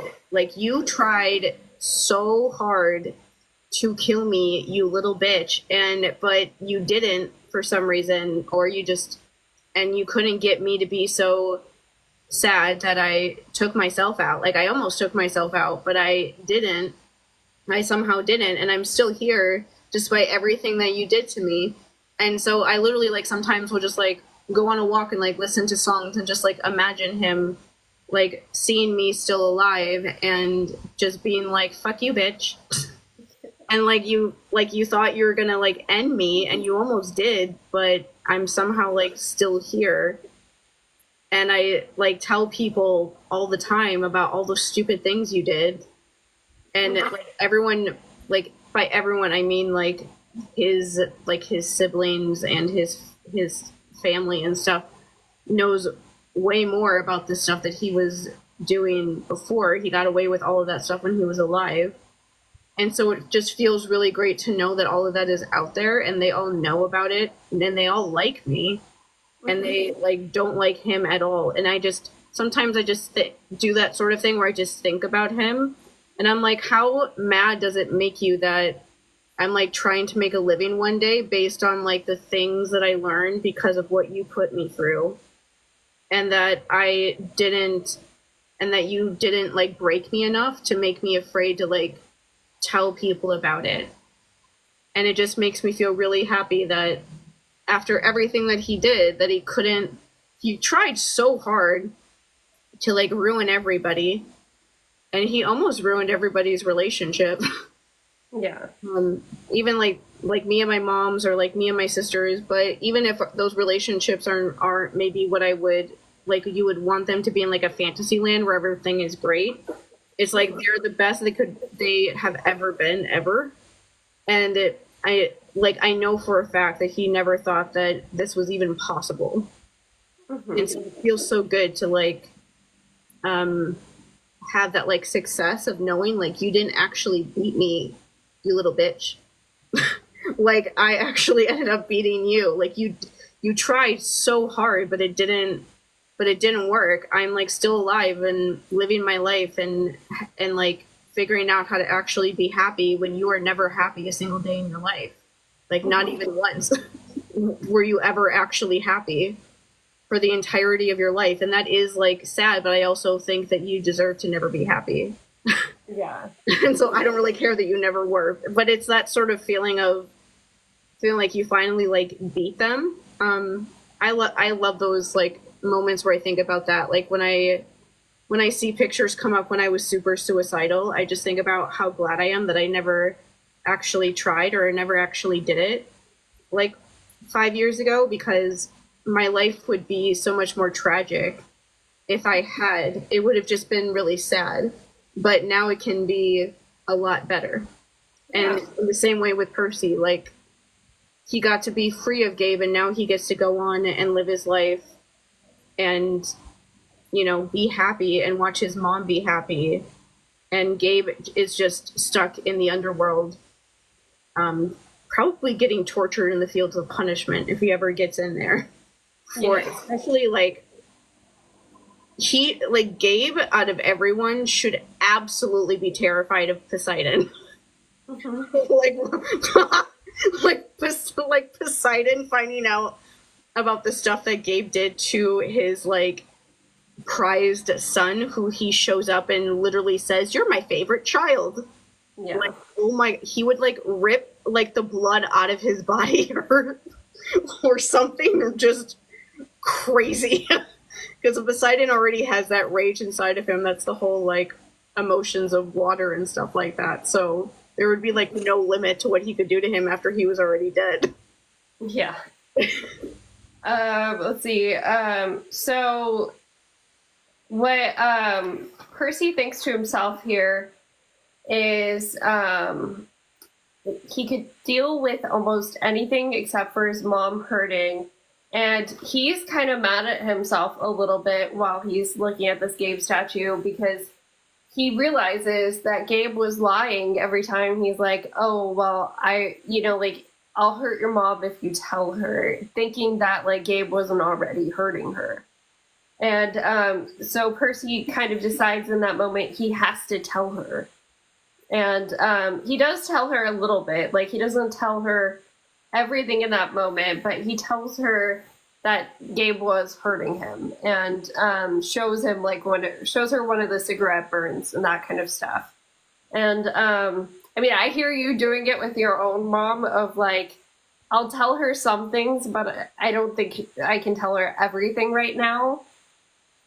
And um, like still being protective while like realizing this is this is probably good for both of our relationship, but yeah, it's just it's kind of hard because like I could say as a mom, I I would want to know but I'd also be really hurt at the same time. So like I get what you would be protecting her from, but it's it's hard, you know. Mm-hmm.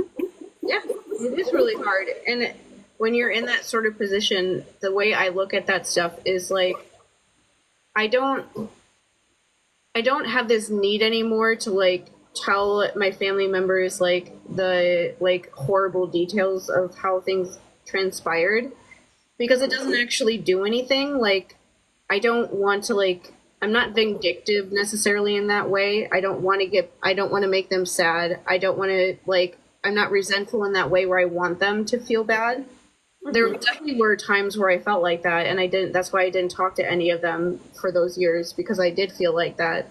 Um, but I don't feel like that anymore, and so it's like a thing of like it's horrible. It's absolutely horrible t- talking to somebody that you love and telling them something and knowing that it's gonna make them really upset and really sad and look at like themselves and you and this other person they knew differently. Like you don't like doing that.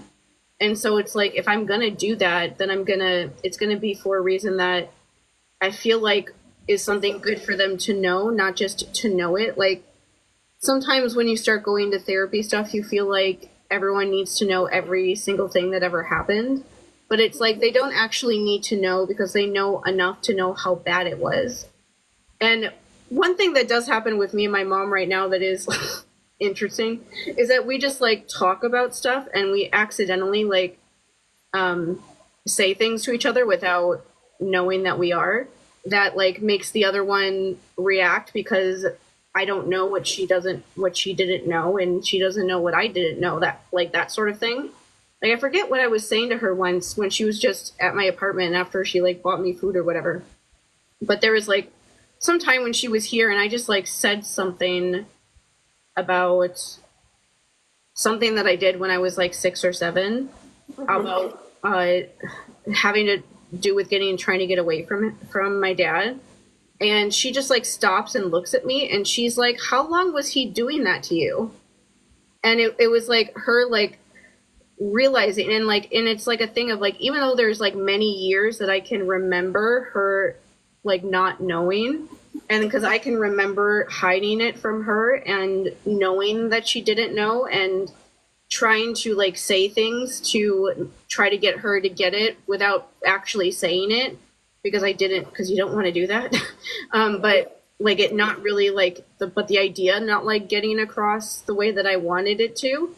Um, so I remember those years, but it's still like a thing of like when you're a kid, you just think that your parents know everything that you know at a certain point. And so when she said that, I was just like, oh shit. like I did it didn't even occur to me until this moment that she didn't that she didn't know how young all of that stuff actually started because she didn't until I said that and it's like oh crap so some sometimes stuff like that happens where you do it accidentally um but it's also a thing of like I don't need to tell her every tiny little detail of what happened for her to know that it was really bad and it's yeah. that sort of a thing of like it feels like I don't know. It just feels gross in a weird way to like sit there and be like trauma dumping on them about this stuff. And it's like, that's not actually, it's that whole thing of why people feel like they need to trauma dump in the first place. Like, you don't need to like display like the worst things that ever happened to you and turn your life into like a sideshow of traumatic like details in order for people to care about what happened to you. Mm-hmm and that's kind of how I look at it. And this with like Percy, like he doesn't have to sit there and tell his mom like all the things that Gabe did because she knows enough to know how bad it was. And it is like one of the scenes that um, I remember when I read The Lightning Thief a million years ago for the first time that made me really like the book series because of how Rick Riordan wrote it. It's just such a small thing, but he like realizes that his mom was abused by Gabe because he sees her like flinch mm-hmm. when Gabe is talking to her, and that's it. That's all that happens. He sees her flinch, and that's that's enough for him to know like what happened, and that's enough for him to know that no, he was hurting her too, and I feel stupid because I believed him when he said that he wouldn't. But it's yeah. like, what other choice do you have in that situation? You want to believe that they actually are telling you the truth. Mm-hmm. But that's like such a that's one of those tiny little details that Rick Riordan put in that I was like, oh, you actually know what you're talking about. Yeah. When it comes to this stuff. Because not only is it normal for you to flinch, but it's also normal that when you're in a kid being abused that you would notice something like that and then put all of that stuff together without anyone actually saying anything out loud. He just like figured that out without his mom ever having to tell him anything. Yeah It's so sad to think of baby Percy thinking like this. Mm-hmm. I mean, he's still very much a baby. I know he's 11 here, but, uh, or probably a little older than 11 at that point. Um, chapter 7 also is kind of heartbreaking too. Um, it's called When You Scream That It's Not Fair. And this, I have to imagine, is right after Titan's Curse. Yeah. Yeah, so Sally um, wakes up in the middle of the night hearing like silent sobbing coming from Percy's room. And um, she she remarks at how she's like instinctively going to him, kind of like how you do with a baby. Um, she starts thinking back to like when he was a baby I would somehow wake and then he would wake and he'd look for me for a second and then he'd start crying. Um, I mean, weird shit like that does happen, you know, like with your kids, where it's like, I I can hear William at, in the middle of the night, even if I'm dead asleep, kind of thing. Um, and so she goes to him, um, and she starts hugging him. But Percy at this point has already been through three quests, and he freaks out when she hugs him and he starts reaching for a weapon and she's she's like oh shit like i can't believe he's having this reaction and so she grabs him a little harder because he's trying to pull away once he realizes it's her he's like i'm so sorry um, she's like no it's okay like holding him in tighter. And percy just kind of lets it all go at this point. He's crying i hate this. He's talking about how he doesn't want to be the prophecy kid. Um, like he he mentions Thalia joined the hunters to get away from it. Um, you never really think of Bianca as a prophecy kid because of you know like she is lost um, before before we get to actually knowing she's a Hades kid. But um, he mentions her as like it could have been her. Nico ran away. Um, and even Sally goes through these people in her mind as well. Like, I wish I could grab and shake Thalia. I wish I could somehow bring Bianca back. I wish that I could make Nico magically older than Percy, but I can't. Yeah. Yeah, I really like this part, even though it's hard. I like it because there's no way that Percy didn't have a meltdown like this. Mm-hmm. Because it's like he's 14 at the end of Titan's Curse. It's like, what the fuck is he supposed to do? Besides have a moment like that, especially the parts where he was like, everyone likes Thalia so much more than me. Why can't she just do it? Mm-hmm. Like that's something that I have thought many times before about many different people that I've known. Like, why am I the one doing this? Why can't somebody else do it who actually who people actually like instead of instead of me who like people usually don't like and it's that sort of feeling of like why am i the one doing this everyone else would be better at this than me but i'm somehow the one that ended up doing it and like we'll we'll talk about this more in depth in like in battle of the labyrinth because especially with ironically the after the calypso chapter um because like when you especially when you get to after that chapter there literally is no one else mm-hmm. who could do it at that point. Like, obviously, Bianca is dead. Thalia can't, like, physically can't do it, and she would be a bad choice to do it anyway because she might turn bad mm-hmm. if, if she did it. Um, Nico is like so young, but also Nico is like not like exactly like mentally, emotionally like stable like that. He's very angry, especially in that book. Like he's doing he's doing things against Percy in that book and things like that. He's not at camp. He doesn't want to be at camp. Um, and so he's not someone that the gods would feel probably very good about being like the prophecy kid. Mm-hmm. He's literally the only other person besides Percy. Like if Percy doesn't do it, they literally have no one else. Anyone else would be a huge risk. Like Nico would be a big risk of if it would even be successful in the way that Percy is not. And so it's like there he literally is the only one that could do it. And it's just this su- such an ironic thing that most of them don't like him, but he's somehow he's somehow the one that has to do it and it's like are you kidding me?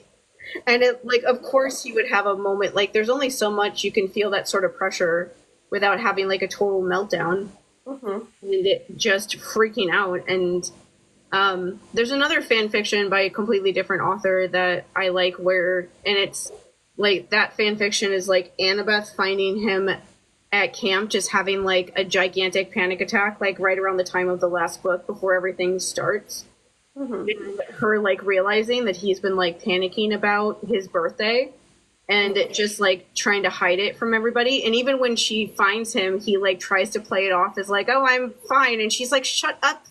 Like you can't. You're like crying so much that you can't even breathe right now. Let me comfort you." Because he like doesn't even want her to do that because he's like, "I have to be the one to handle all of this stuff." and he's like trying to be strong for everybody, but it's that whole thing of there's only Percy has to have somebody that he can act like a kid with still, and that's um, that's Sally. And so with Sally, he can cry and almost throw like a temper tantrum, like sort of meltdown moment of just screaming about like, can't somebody else just freaking do this?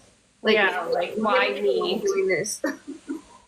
Yeah, and I mean Sally, she hates it too. She feels like this this amount of responsibility shouldn't be on him. He should be worrying about homework and stupid stuff like that. Um, but she also is thinking to herself, who else could it be? And like um, one of the quotes that I wrote down from this is Percy was good in a way that few beings were mortal or not. So um, she just she recognizes that about Percy that like he is the best person to do this because of how good he is and like where he's coming from. And um, I think the author forgot that the gods didn't like him because she also was like, and I think everybody would agree with me. Like they didn't. Sorry, sorry to burst your bubble there, Sally, but um, yeah, it, it is true though. I mean, we can see that as as the audience of the book that like he is that good, and there really is nobody else who should be holding that much weight. Yeah, the when she said like the line that she said about how he's just like a like a good person in a way that other people sometimes aren't. It re- it like reminded me of the thing you say when you talk to me about being like a scapegoat or being like the only one to deal with like family stuff. Is that you always say to me that like it's not for the weak. like doing that is not for like somebody who's weak and it, like remember that about yourself before you start thinking that you're like a weak little bitch basically but it's like that sort of idea of like yeah it's that sort of thing of most other characters even in the world of percy jackson could never handle the pressure and expectation and everything that he is under from the time that he's introduced into this world. You have to be really resil- resilient and really strong in order to put up with something like that and not everybody can do it. Um, he can and it means that he has to deal with like the fallout of actually experiencing all of these things in the way that we do when you're the one trying to break generational trauma in your family. You are the one like doing that as well because that is what he's doing in this story too. Um, it is really hard and it's not for like the weak at heart at all because if it is you're just gonna stop. Because Yeah. it's really difficult but at the same time when you get through it all there are like a lot of rewards to it but it is also a thing i can't even count the amount of times in the last like six years that i've been like why the fuck is it me like what is wrong with all of you people on both sides of my family that this is somehow like down to just me? Like me? Yeah. like how is this how is it me? Like why am i the one doing this? Like all these generations of people never could get their shit together long enough to figure this out. I'm somehow the one that has to do it because like my childhood went like the worst it possibly could and so i have no choice but to be the one to deal with it. Like couldn't just one of you done this before i was born so i didn't have to be the one to do it? Yeah. that would have been a lot easier but they but that that's just not what happened. But you do have those moments where you're just like looking like me looking at like my family trees i'm looking at all of them i'm like what the fuck is wrong with all of you guys? Like All of you. all of literally all of you. None of you none of you are safe from me. Like when i die one day i'm just gonna like go down the list and be like what the fuck happened to you? Like mm-hmm. where where did you drop the ball? Oh you're in like the civil war? I don't care. Like i was in war in my in my house. Like i i had to go to school. Mm-hmm. While also experiencing warlike things. At least you got to like go to war and not have to go to class anymore. Yep. and it's just you can't help but have those moments where it's just like how is this possibly how is this possibly me like out of everyone me i'm not that special how am i the one doing this and nobody else could Yeah. Um, so he, Percy's saying, I can't do this. Sally says you can, you don't have a choice, which like that one that one really hit hard. Um and yeah, um so it also says um, she cannot fight monsters or help him there, but she could give him a safe place to land, somewhere to be the child he still was. And then Percy cries himself to sleep while she's still holding him. yeah. It's really frustrating to like read, but at the same time, like you said, it's it's the breakdown we never see between the books. It's, it, I mean, we don't get a lot of his life at home when he's, you know, happy and good. um, but um, the next chapter picks up, it's after the prophecy is over. And so Paul, I think he's living with them. It's like a little unclear from this. And um, so Percy is like, he sees him leaving with a bag and he's like, Where are you going? Paul says, I want to give you and your mom some time to yourself, so um, I'm taking off, but save me some pizza. And um, like, then Sally's like, Yeah, we were going to make pizza. And um, let's see. So at this point, Percy just wants his mom, but at the same time, he really loves and respects Paul. Like, we already see that. There's a hug that happens he's remarking that Paul is the type of person that just really cares about him, that like wants the best for him, and very parental already. Mm-hmm. Um, let's see. So Sally says to him at one point during the scene, um, You deserve so much more. We've asked too much of you. And Percy tells her, All you've ever asked is that I stay safe. Um, and yeah, Ay, ay, ay. yeah, I know that she directly has never asked anything, but I think like the collective we she's talking about, he's not recognizing because he's like, well, you're my safe person, and you've never asked me to do anything. Mm-hmm. Yeah, just like adults in general. One, yeah. one part from this uh, part that I liked with Paul was that he said that when Paul like approached him to like sit on the couch and explain to him why he was leaving, the line was like he like telegraphed all of his movements so which i like very where and percy says like i appreciated that. And i was like yeah those are like the best people um who are very like open with what they're doing so that you're not afraid of what they're about to do.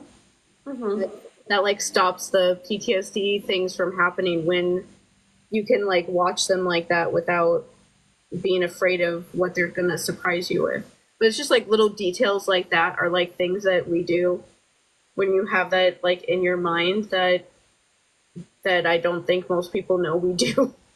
Unless you've like had to do it before. You just don't know that you're always watching people like that.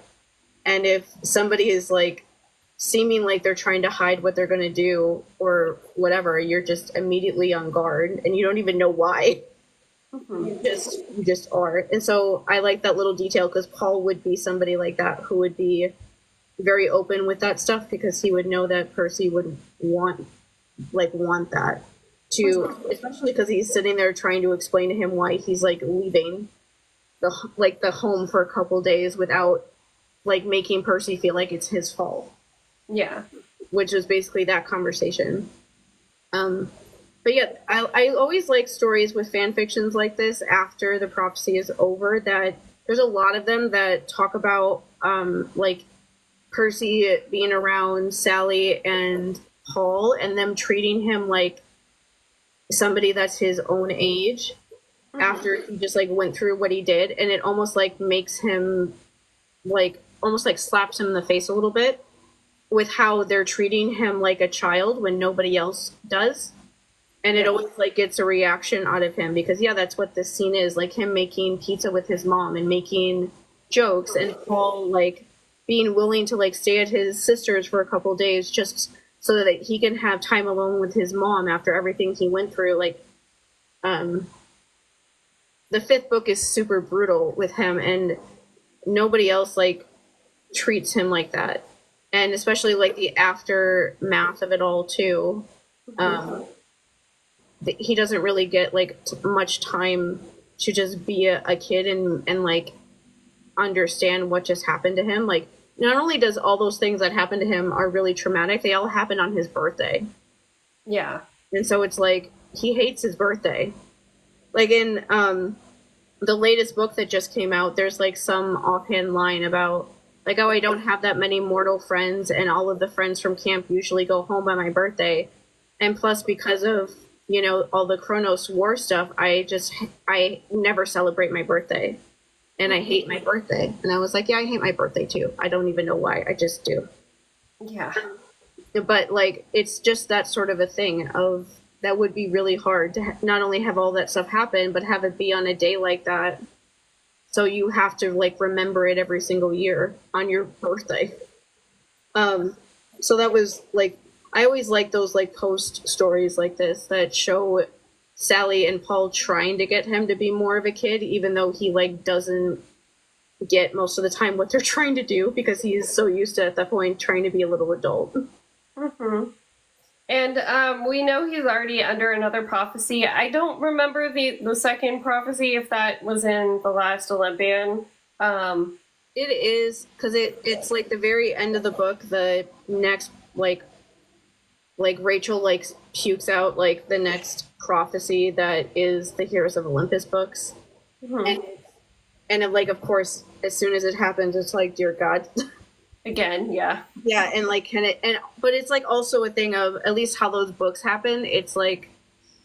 They, that book ends with them being like, well, maybe it won't happen for a while because the original prophecy was during World War II and it didn't actually happen until like 2009 or 2010 or something. Um, but of course, it happens four months later. Yeah. Um, so Percy says, I can't do this again, meaning the second prophecy. And all Sally says is, I know. And then Percy's just like, so pizza? um, and yeah, so they, we end the chapter on that kind of like happy moment of like, yes, this is happening again, but like at least he's distracted doing normal boy things. And um, so chapter nine, um, it's called You'll Feel My Fingers Down Your Back. And it starts out with a 17 year old Percy and Sally and Poseidon kind of looking over him as he's sleeping. And um, so Poseidon asks Sally, Do you regret it? And she says, It brought me him. He's worth anything. Um, but I don't think I'll ever be able to forgive you, though. and um, so then Poseidon asks her, What was your line in the sand? Like, what was the thing that, you know, made you so mad at me? And she says, When he was taken from me, which, like, goes back to I'm guessing it's Heroes of Olympus stuff that I haven't read, but um, she mentions that Annabeth came to her crying so bad it took her an hour to calm Annabeth down long enough to figure out like it's because Percy's gone. And when he came back to her, he was broken, in her words. Yeah, he is. Um, and like, yeah, the way that he disappears in those books is like the everything with um with you know Luke and stuff happens on his birthday, which is August 18th, I think. Mhm. And then it's like three months, four maybe four months later, in um like the middle of December, he they're you know he's just like at camp like they were all those months because like half of camp is dead. And so they're just like rebuilding cabins and trying to help all the kids that are there and trying to rebuild everything. And after everyone is gone and um, he goes to bed one morning and then they wake up the next day and he's just gone. And he's gone for six months. Nobody knows where he is for six months. And like the first heroes of olympus book is annabeth like losing it because he's just the rest of the camp is too honestly but especially her because he's just he just disappears and they can't find him anywhere. They like look every they're constantly like everyone is like thalia is looking for him annabeth is looking for him grover they all just like drop what they're doing to go and look for him. Like Clarisse doesn't even want them to look for other demigods because they should be looking for him instead. And so it's like everyone's trying to find him and he just disappears for six months because hera's a stupid bitch and stole him and and um shoved him into like like a like a shed thing in the middle of like the forest in California and he wakes up with no memory of anything and he has no money and nobody is there to help him. Like the other kid from like the other camp that also woke up he woke up at like a school around a bunch of other kids and so he was fine. Percy wakes up completely like there's these i forget what they are but there's like a mon like dangerous monster things that are chasing him and in one of the things that happening in those books is that the monsters are like coming back to life like super fast. And so he has no idea who he is or what he's doing. He has no memory of anything. And these monsters keep attacking him. And they keep like he fights the same monsters like three times mm-hmm. before he gets to like the camp he's supposed to be getting to and it's honestly like a fucking miracle that he gets there alive because he doesn't have any he's like eating garbage because he doesn't have any food. Like most of that that first book he wakes up and he's eating gar like food out of the out of dumpsters because he doesn't have any doesn't have any money and he doesn't he doesn't even know who he is. Like he doesn't remember anything about his life at all.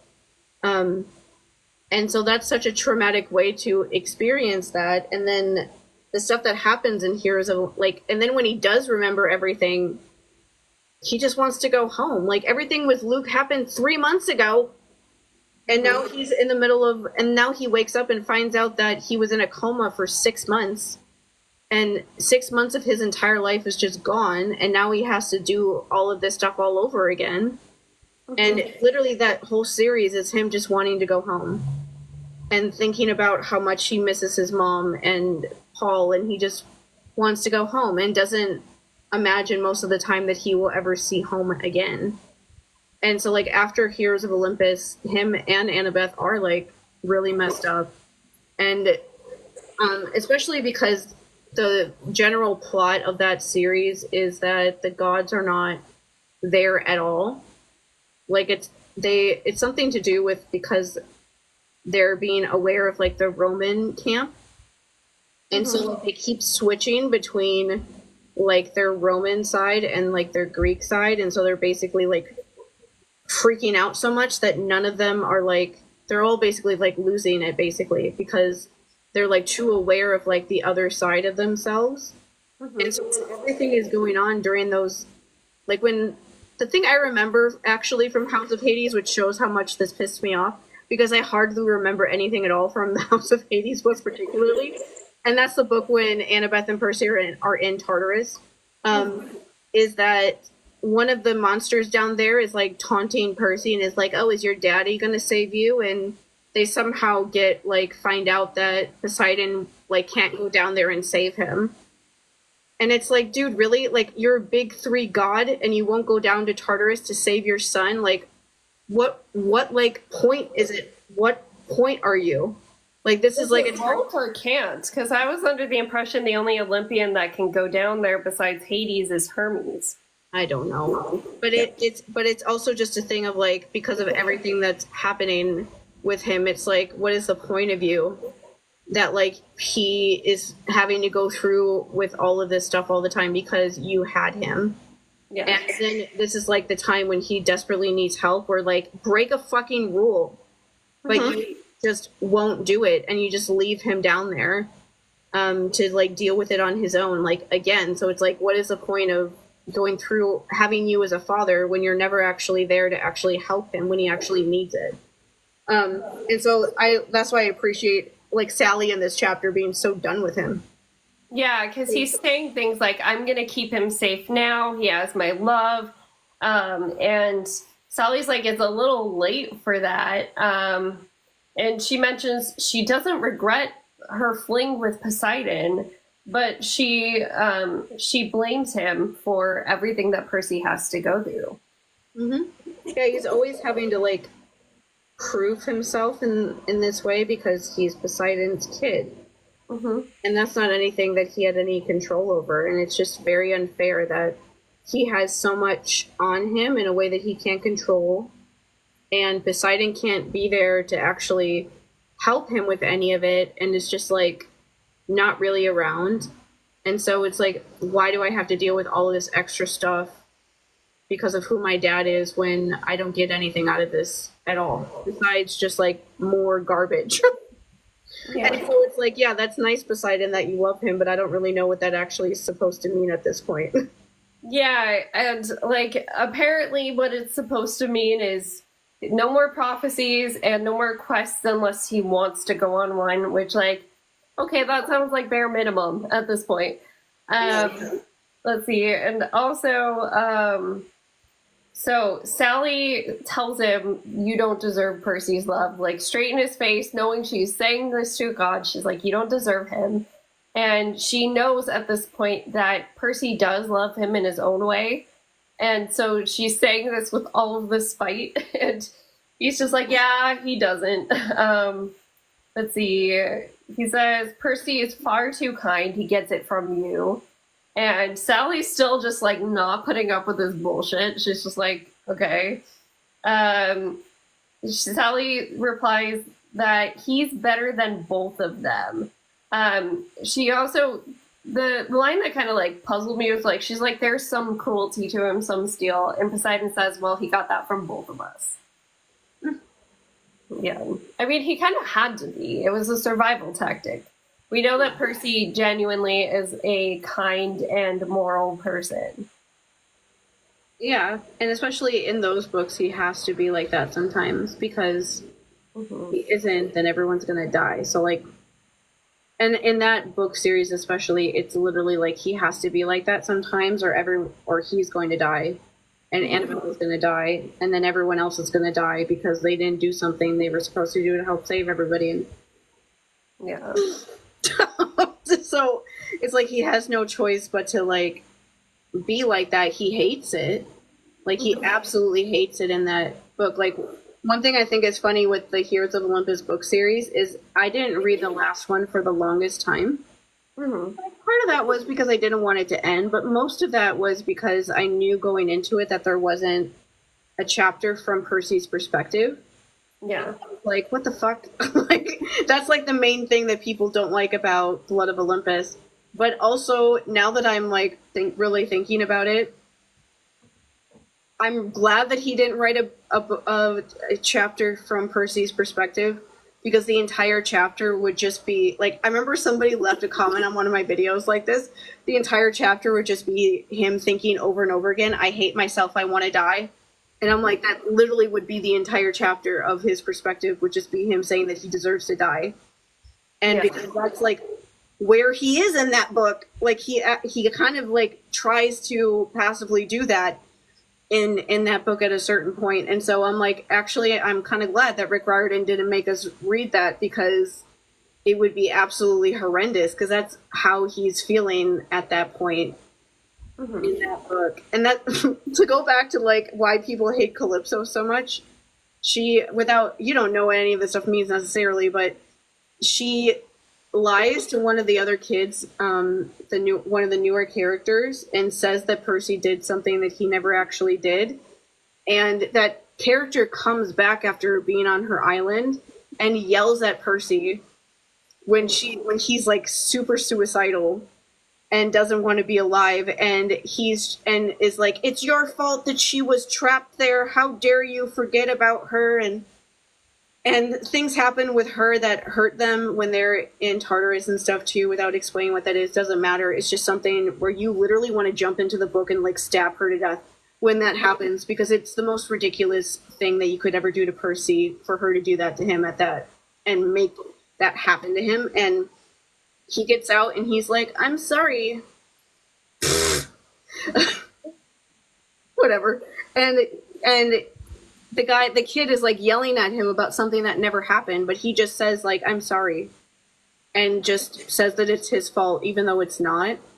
Um and when you're reading it, you like want to jump into the book so hard because it's from the other kid's perspective. And he's like, Yeah, that went really well. I stood up to Percy, and you're like, No! like you're wrong. Why are you yelling at him when he's like barely even functioning right now? He you could come up to him and tell him he's responsible for like the president dying and he would be like you're right it's my fault. I'm sorry. like he thinks everything is his, is his fault at that. And it's just like that's why people hate her so much, just because I'm like, why are you kicking him when he's down? Like, what is wrong with you, you weird ass woman? but yeah, um, Poseidon definitely deserves to get no shit from Sally the rest of his life just for the stuff that Percy had to go through and everyone else that loves him had to go through watching him afterwards after Heroes of Olympus. Mm-hmm. Dear Lord. So um, we get then um, Poseidon leaves, kisses him on the forehead, and is like, you know, I, I really do love him kind of situation, but you can't help but also feel mad at him, even the way it's written. It's just like, why do you feel any sort of possessiveness over this kid who you haven't been there for this whole time, and now you're saying you're going to be there and we're supposed to believe you? Like, fuck you. Mm-hmm. You're not going to be there, dude. Yeah, so um, final chapter is I know you're strong enough to. And this starts off with Sally apologizing to Percy, like after everything's gone down, and saying he, he deserved better. And Percy thinks back to the toddler memory we had in the first chapter of him stomping around in the puddle and stuff and splashing with her. And he's um, he's still kind of scared, apprehensive about what's going to happen in the future because although his dad has said no more quests, no more prophecies, can't trust what the gods say. He's learned that the hard way. Um, and so um, he does remark at that same point while thinking, I can't trust what my dad said, but I don't doubt at all that my mom loves me.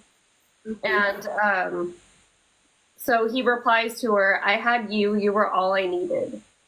And um, let's see, is that what do my notes say? Percy knew his mom often thought of how she could have chosen the palace under the sea, and that would have meant she would have lived, like, not lived her own life, but she would have gladly done it for Percy. And Percy thinks I would have done the same thing for her. I'd give up my, like, living my life for her. Um, let's see. Um, then we get kind of a little bit of banter about Estelle because they are hanging out, but baby Estelle is laying and they're watching her on the monitor. And Percy um, says something about her, and then Sally says, Oh, well, you were a saint of a baby compared to Estelle. You slept a lot more. And like, Percy says, Well, sleep's too great to pass up on. Yeah. Um, let's see. Uh, he also is thinking in this chapter how he's somewhat jealous of Estelle because she has a present dad who loves her. She's never going to have to doubt that Paul cares about her. Mm-hmm. She has enough food. She's not going to have to worry about being in a cold apartment in New York in the winter. like, yeah. And um, so while he's happy she gets all of these things, there's also that pain of jealousy behind it a little bit. Yeah, and I I like that being there just because that is like a thing. Like you don't want you don't want like the younger generation, whoever it is, whether it's your sister or like with me, like a niece or a kid or mm-hmm. whatever. You don't want them to go through what you did, but it is hard, especially considering like how much better her childhood will be than his. It is mm-hmm. just hard to know that like that her life is going to be so much easier in all of those ways and like he's glad about that but it is also one of those things that he's always a part of that family like he's obviously a part of that family no matter what but it mm-hmm. like one of those things that just makes you feel different um, than than everyone else and it's it's just just difficult because everyone else in that family is like mortal just yeah. they're like a normal person um, and will live like very normal lives when he's not when he's not there which like good that's good for like him to be around people like that too but it is very hard when you're it's hard to be around people that remind you how abnormal like your life has been mm-hmm. it's just very difficult to be around people like that even if you like to be around them. It's hard being around people like that that just just little things that they don't even notice just makes you feel really weird. yeah, and I mean like with parenting too, it definitely you feel something when your kids start going through the ages that you were when your trauma happened because you start thinking, wow, I was that small, like I was that young. Um, and for me, with like William, he still acts like a kid. He still very much plays pretend, and like there's something so innocent about him that I know wasn't there for me anymore by this age. Mm-hmm. And it's it's beautiful in a way, but it's also sad when I stop to think about it. Yeah, I do that too. Like, um, it's hard for me to be around kids that are a little bit older. Mm-hmm. Um, like I'm not a good judge on how old kids are just by like looking at them because of how crazy my childhood was, I think. And so I usually will ask them like um, like my cousin's kids or my sister's partner's brother's kids. Like I'll ask them how old they are when I do see them and the and like they're really sweet kids and it's nice to like talk to them but it is so weird for me especially to be talking to them and just be thinking about like what was happening to me when i was their age and like looking at them i'm like this is just so weird because they're so little. Yeah. Like just innocent and that's not at all how i remember myself at that age and it's just really weird to think about the stuff that was going on at that age that it's like how were you doing that with somebody who looked like that? Like it just is really it's a lot harder to think about it. It's it's easier to know your own memories because it's the only thing that you've ever experienced in your life so you don't know anything different but it's different when you see other kids that mm-hmm. are those same ages and you just look at them like that's what i looked like like at that age how was this stuff happening to me when i looked like that yeah. a very different feeling. And it's, I try to like control that like anxiety or whatever around kids that age because that part of my brain that's always like listening to kids to see if there's anything wrong never ever turns off. But it's also a thing of I need to like not be worrying about that so much when I'm around them that it like takes me out of like spending time with kids when they're just being cute. yeah. Yeah. Um, so Sally keeps apologizing to him in this chapter, and Percy says, I was strong enough to bear it. Um, she says, You're strong enough to do anything. I just wish you didn't have to be. And he says, I'm strong because of you. And like that moment was just so sweet, especially because she replies to him, Well, you you made me stronger too. And um there's there's something about growing up with your kids. Like, of course, it's not ideal to have kids when you're very very young, but like having also had my child before my frontal cortex was fully developed, he did have to experience me growing up. Like, it's it was inevitable, and um, like you try your best. At least I would think. Pers- uh, Sally was also this way to like not put that growing up on them. Mm-hmm but they still recognize it. You know, like there's William will still joke like you're living out some childishness right now because you didn't get to when you were a kid. Mm-hmm. Like, yeah, I am, um, and I'm very honest with him about that. But it's, I mean, he notices it. He fully notices it. Yeah, it's. I feel like it's one of those things kids notice just purely based on like you know how kids talk about stuff like that, like oh, how old is your mom? mm-hmm. with your dad. And when there are kids that, when there is someone in your class that has a dad or a mom that's much older or much younger, it just is one of those things when you're a kid that is, that like gets your attention. And so you notice when you're like someone whose parent is much younger than everybody else or much older than everyone else. It just like makes you realize that your parent is a little bit different from everybody else's. And it's not even like a bad thing. It just is true. It's mm-hmm. just how it is. Like my dad was old. yeah. Like he was 35 when he had me and 37 when he had my sister. And so he was a lot older. He died when I was 29 and he was like 64 by then. and so he was one of the older parents when I was in, in school, when most parents were like 10 years younger than him. Yeah. Um, so yeah, it's just one of those things. Like it's fun for William, I think, to like notice that stuff.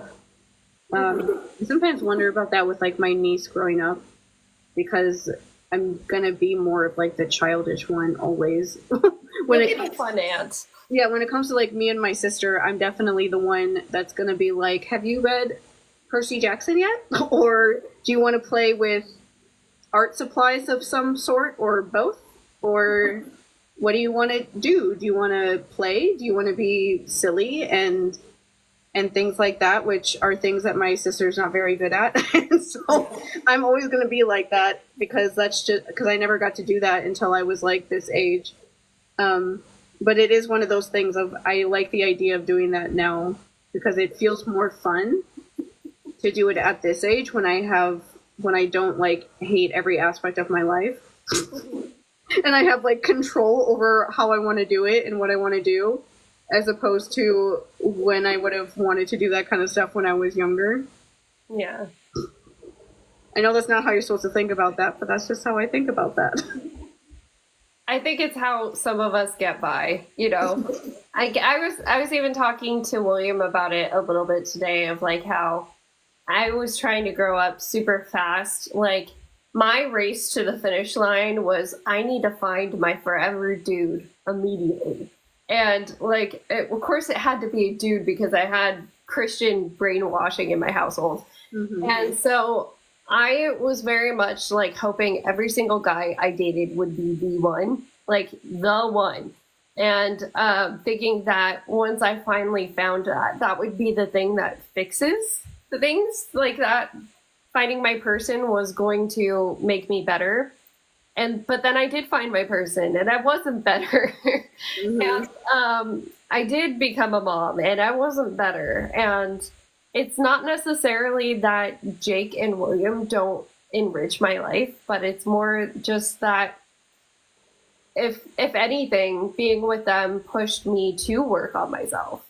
Yeah, yeah. Like um, pop psychology is very stupid, but Mm-hmm. one pop psychology thing they do that is like based on something that's real is the whole idea of like, oh, you can't, other people can't fix you or whatever. Like they take it to the point where they need to be alone or something like that.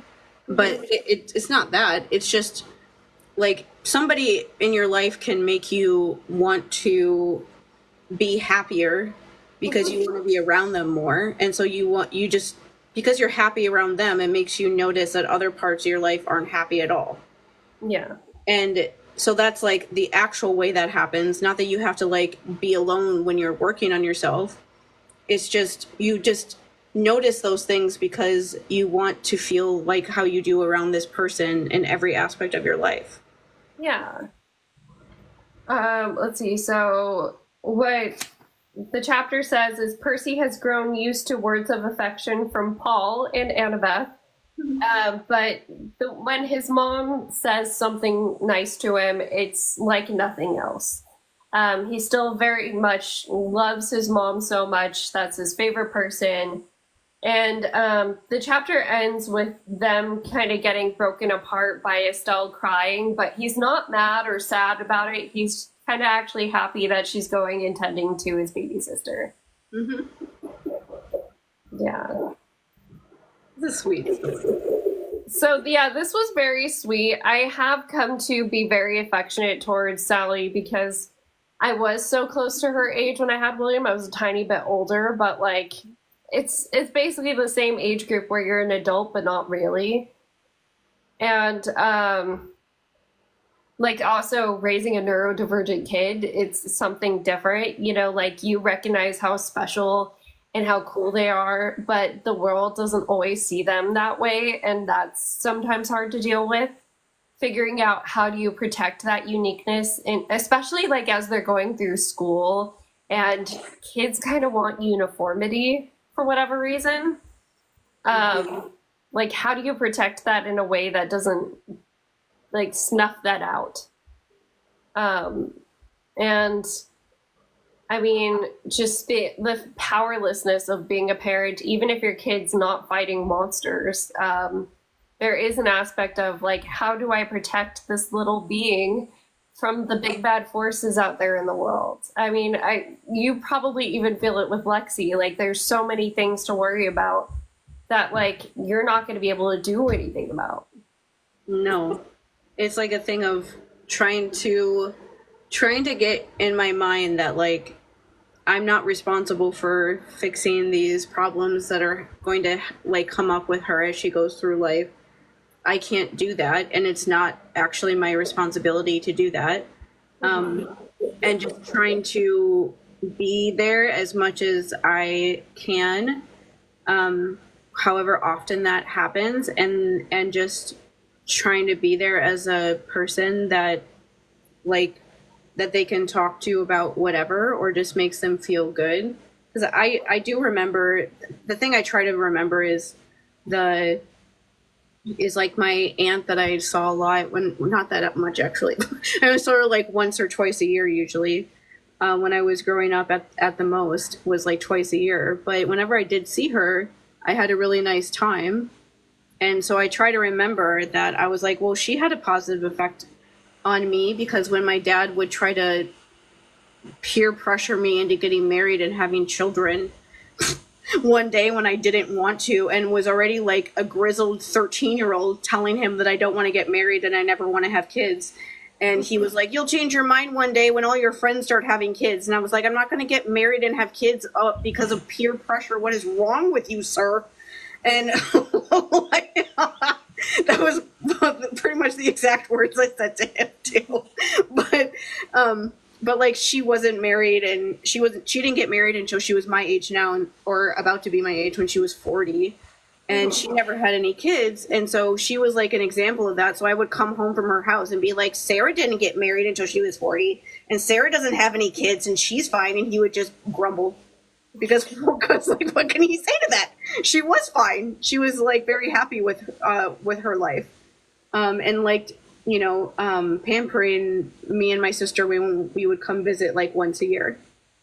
And so i try to remember that that like even if i don't see her a lot i know from experience remembering that that even if it's not a lot it still can make a big difference. And it is different now because like internet exists a lot more like phones and like FaceTime calls and things like that exist that did not exist at all when I was growing up. And so I feel like it'll be a lot easier to keep in touch with her no matter like where I am because of stuff like that. And that does make me feel a little bit better because it is like a very overwhelming feeling just thinking about like everything that could possibly happen. Um, yeah. a lot that could that that could happen.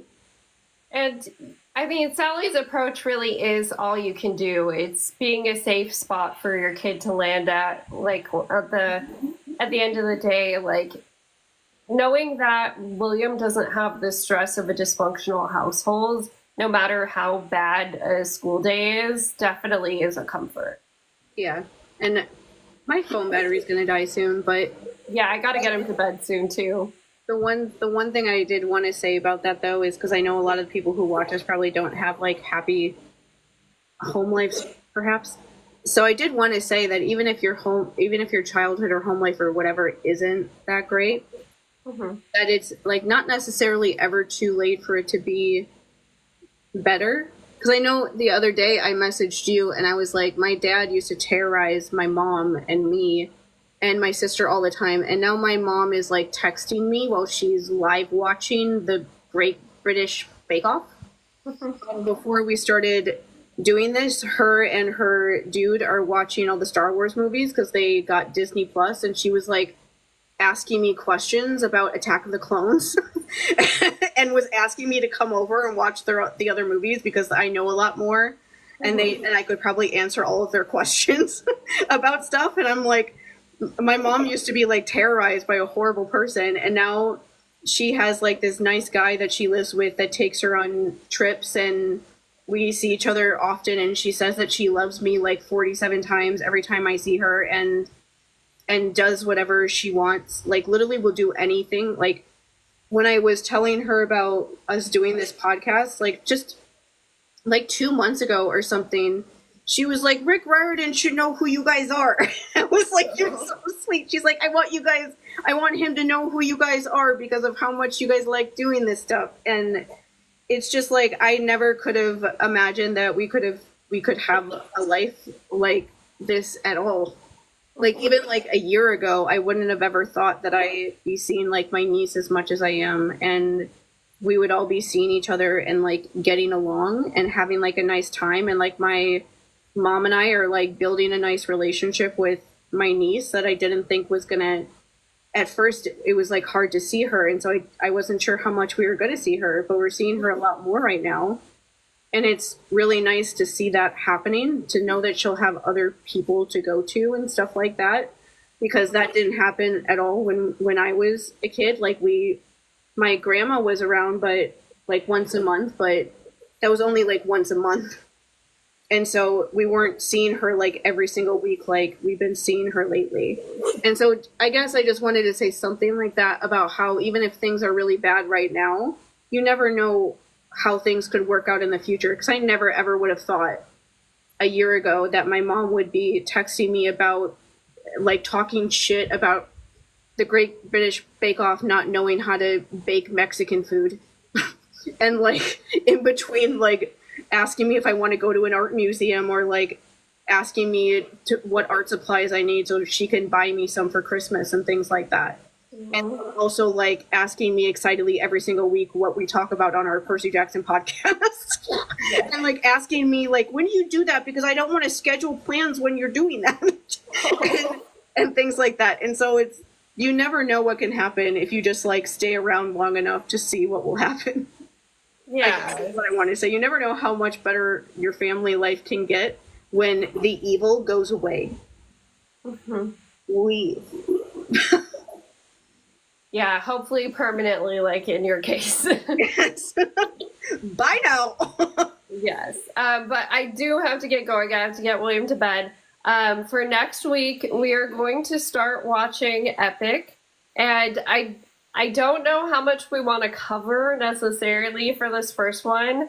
Um, so me and you will talk offline about that, but yeah. we're well, we're gonna do a few of them probably. There's a bunch. There's a bunch of sagas. Every saga has like three or four, five songs at the most. Mm-hmm. So just for like our viewers, the best way we know how to do that is that we'll listen to it and see basically see how many songs we get to before we think we have enough to talk about. Mm-hmm. And we'll, we'll post somewhere during the week to like let you guys know because I know some people like to like keep up with what we're doing. Mm-hmm. Um, to let you guys know which ones we're going to cover. But either way, we're going to cover that because if a bunch of people are like, I don't like your opinion and I don't have to listen to it because I've never listened to Epic, I'm like, I'm going to listen to it now. Thanks.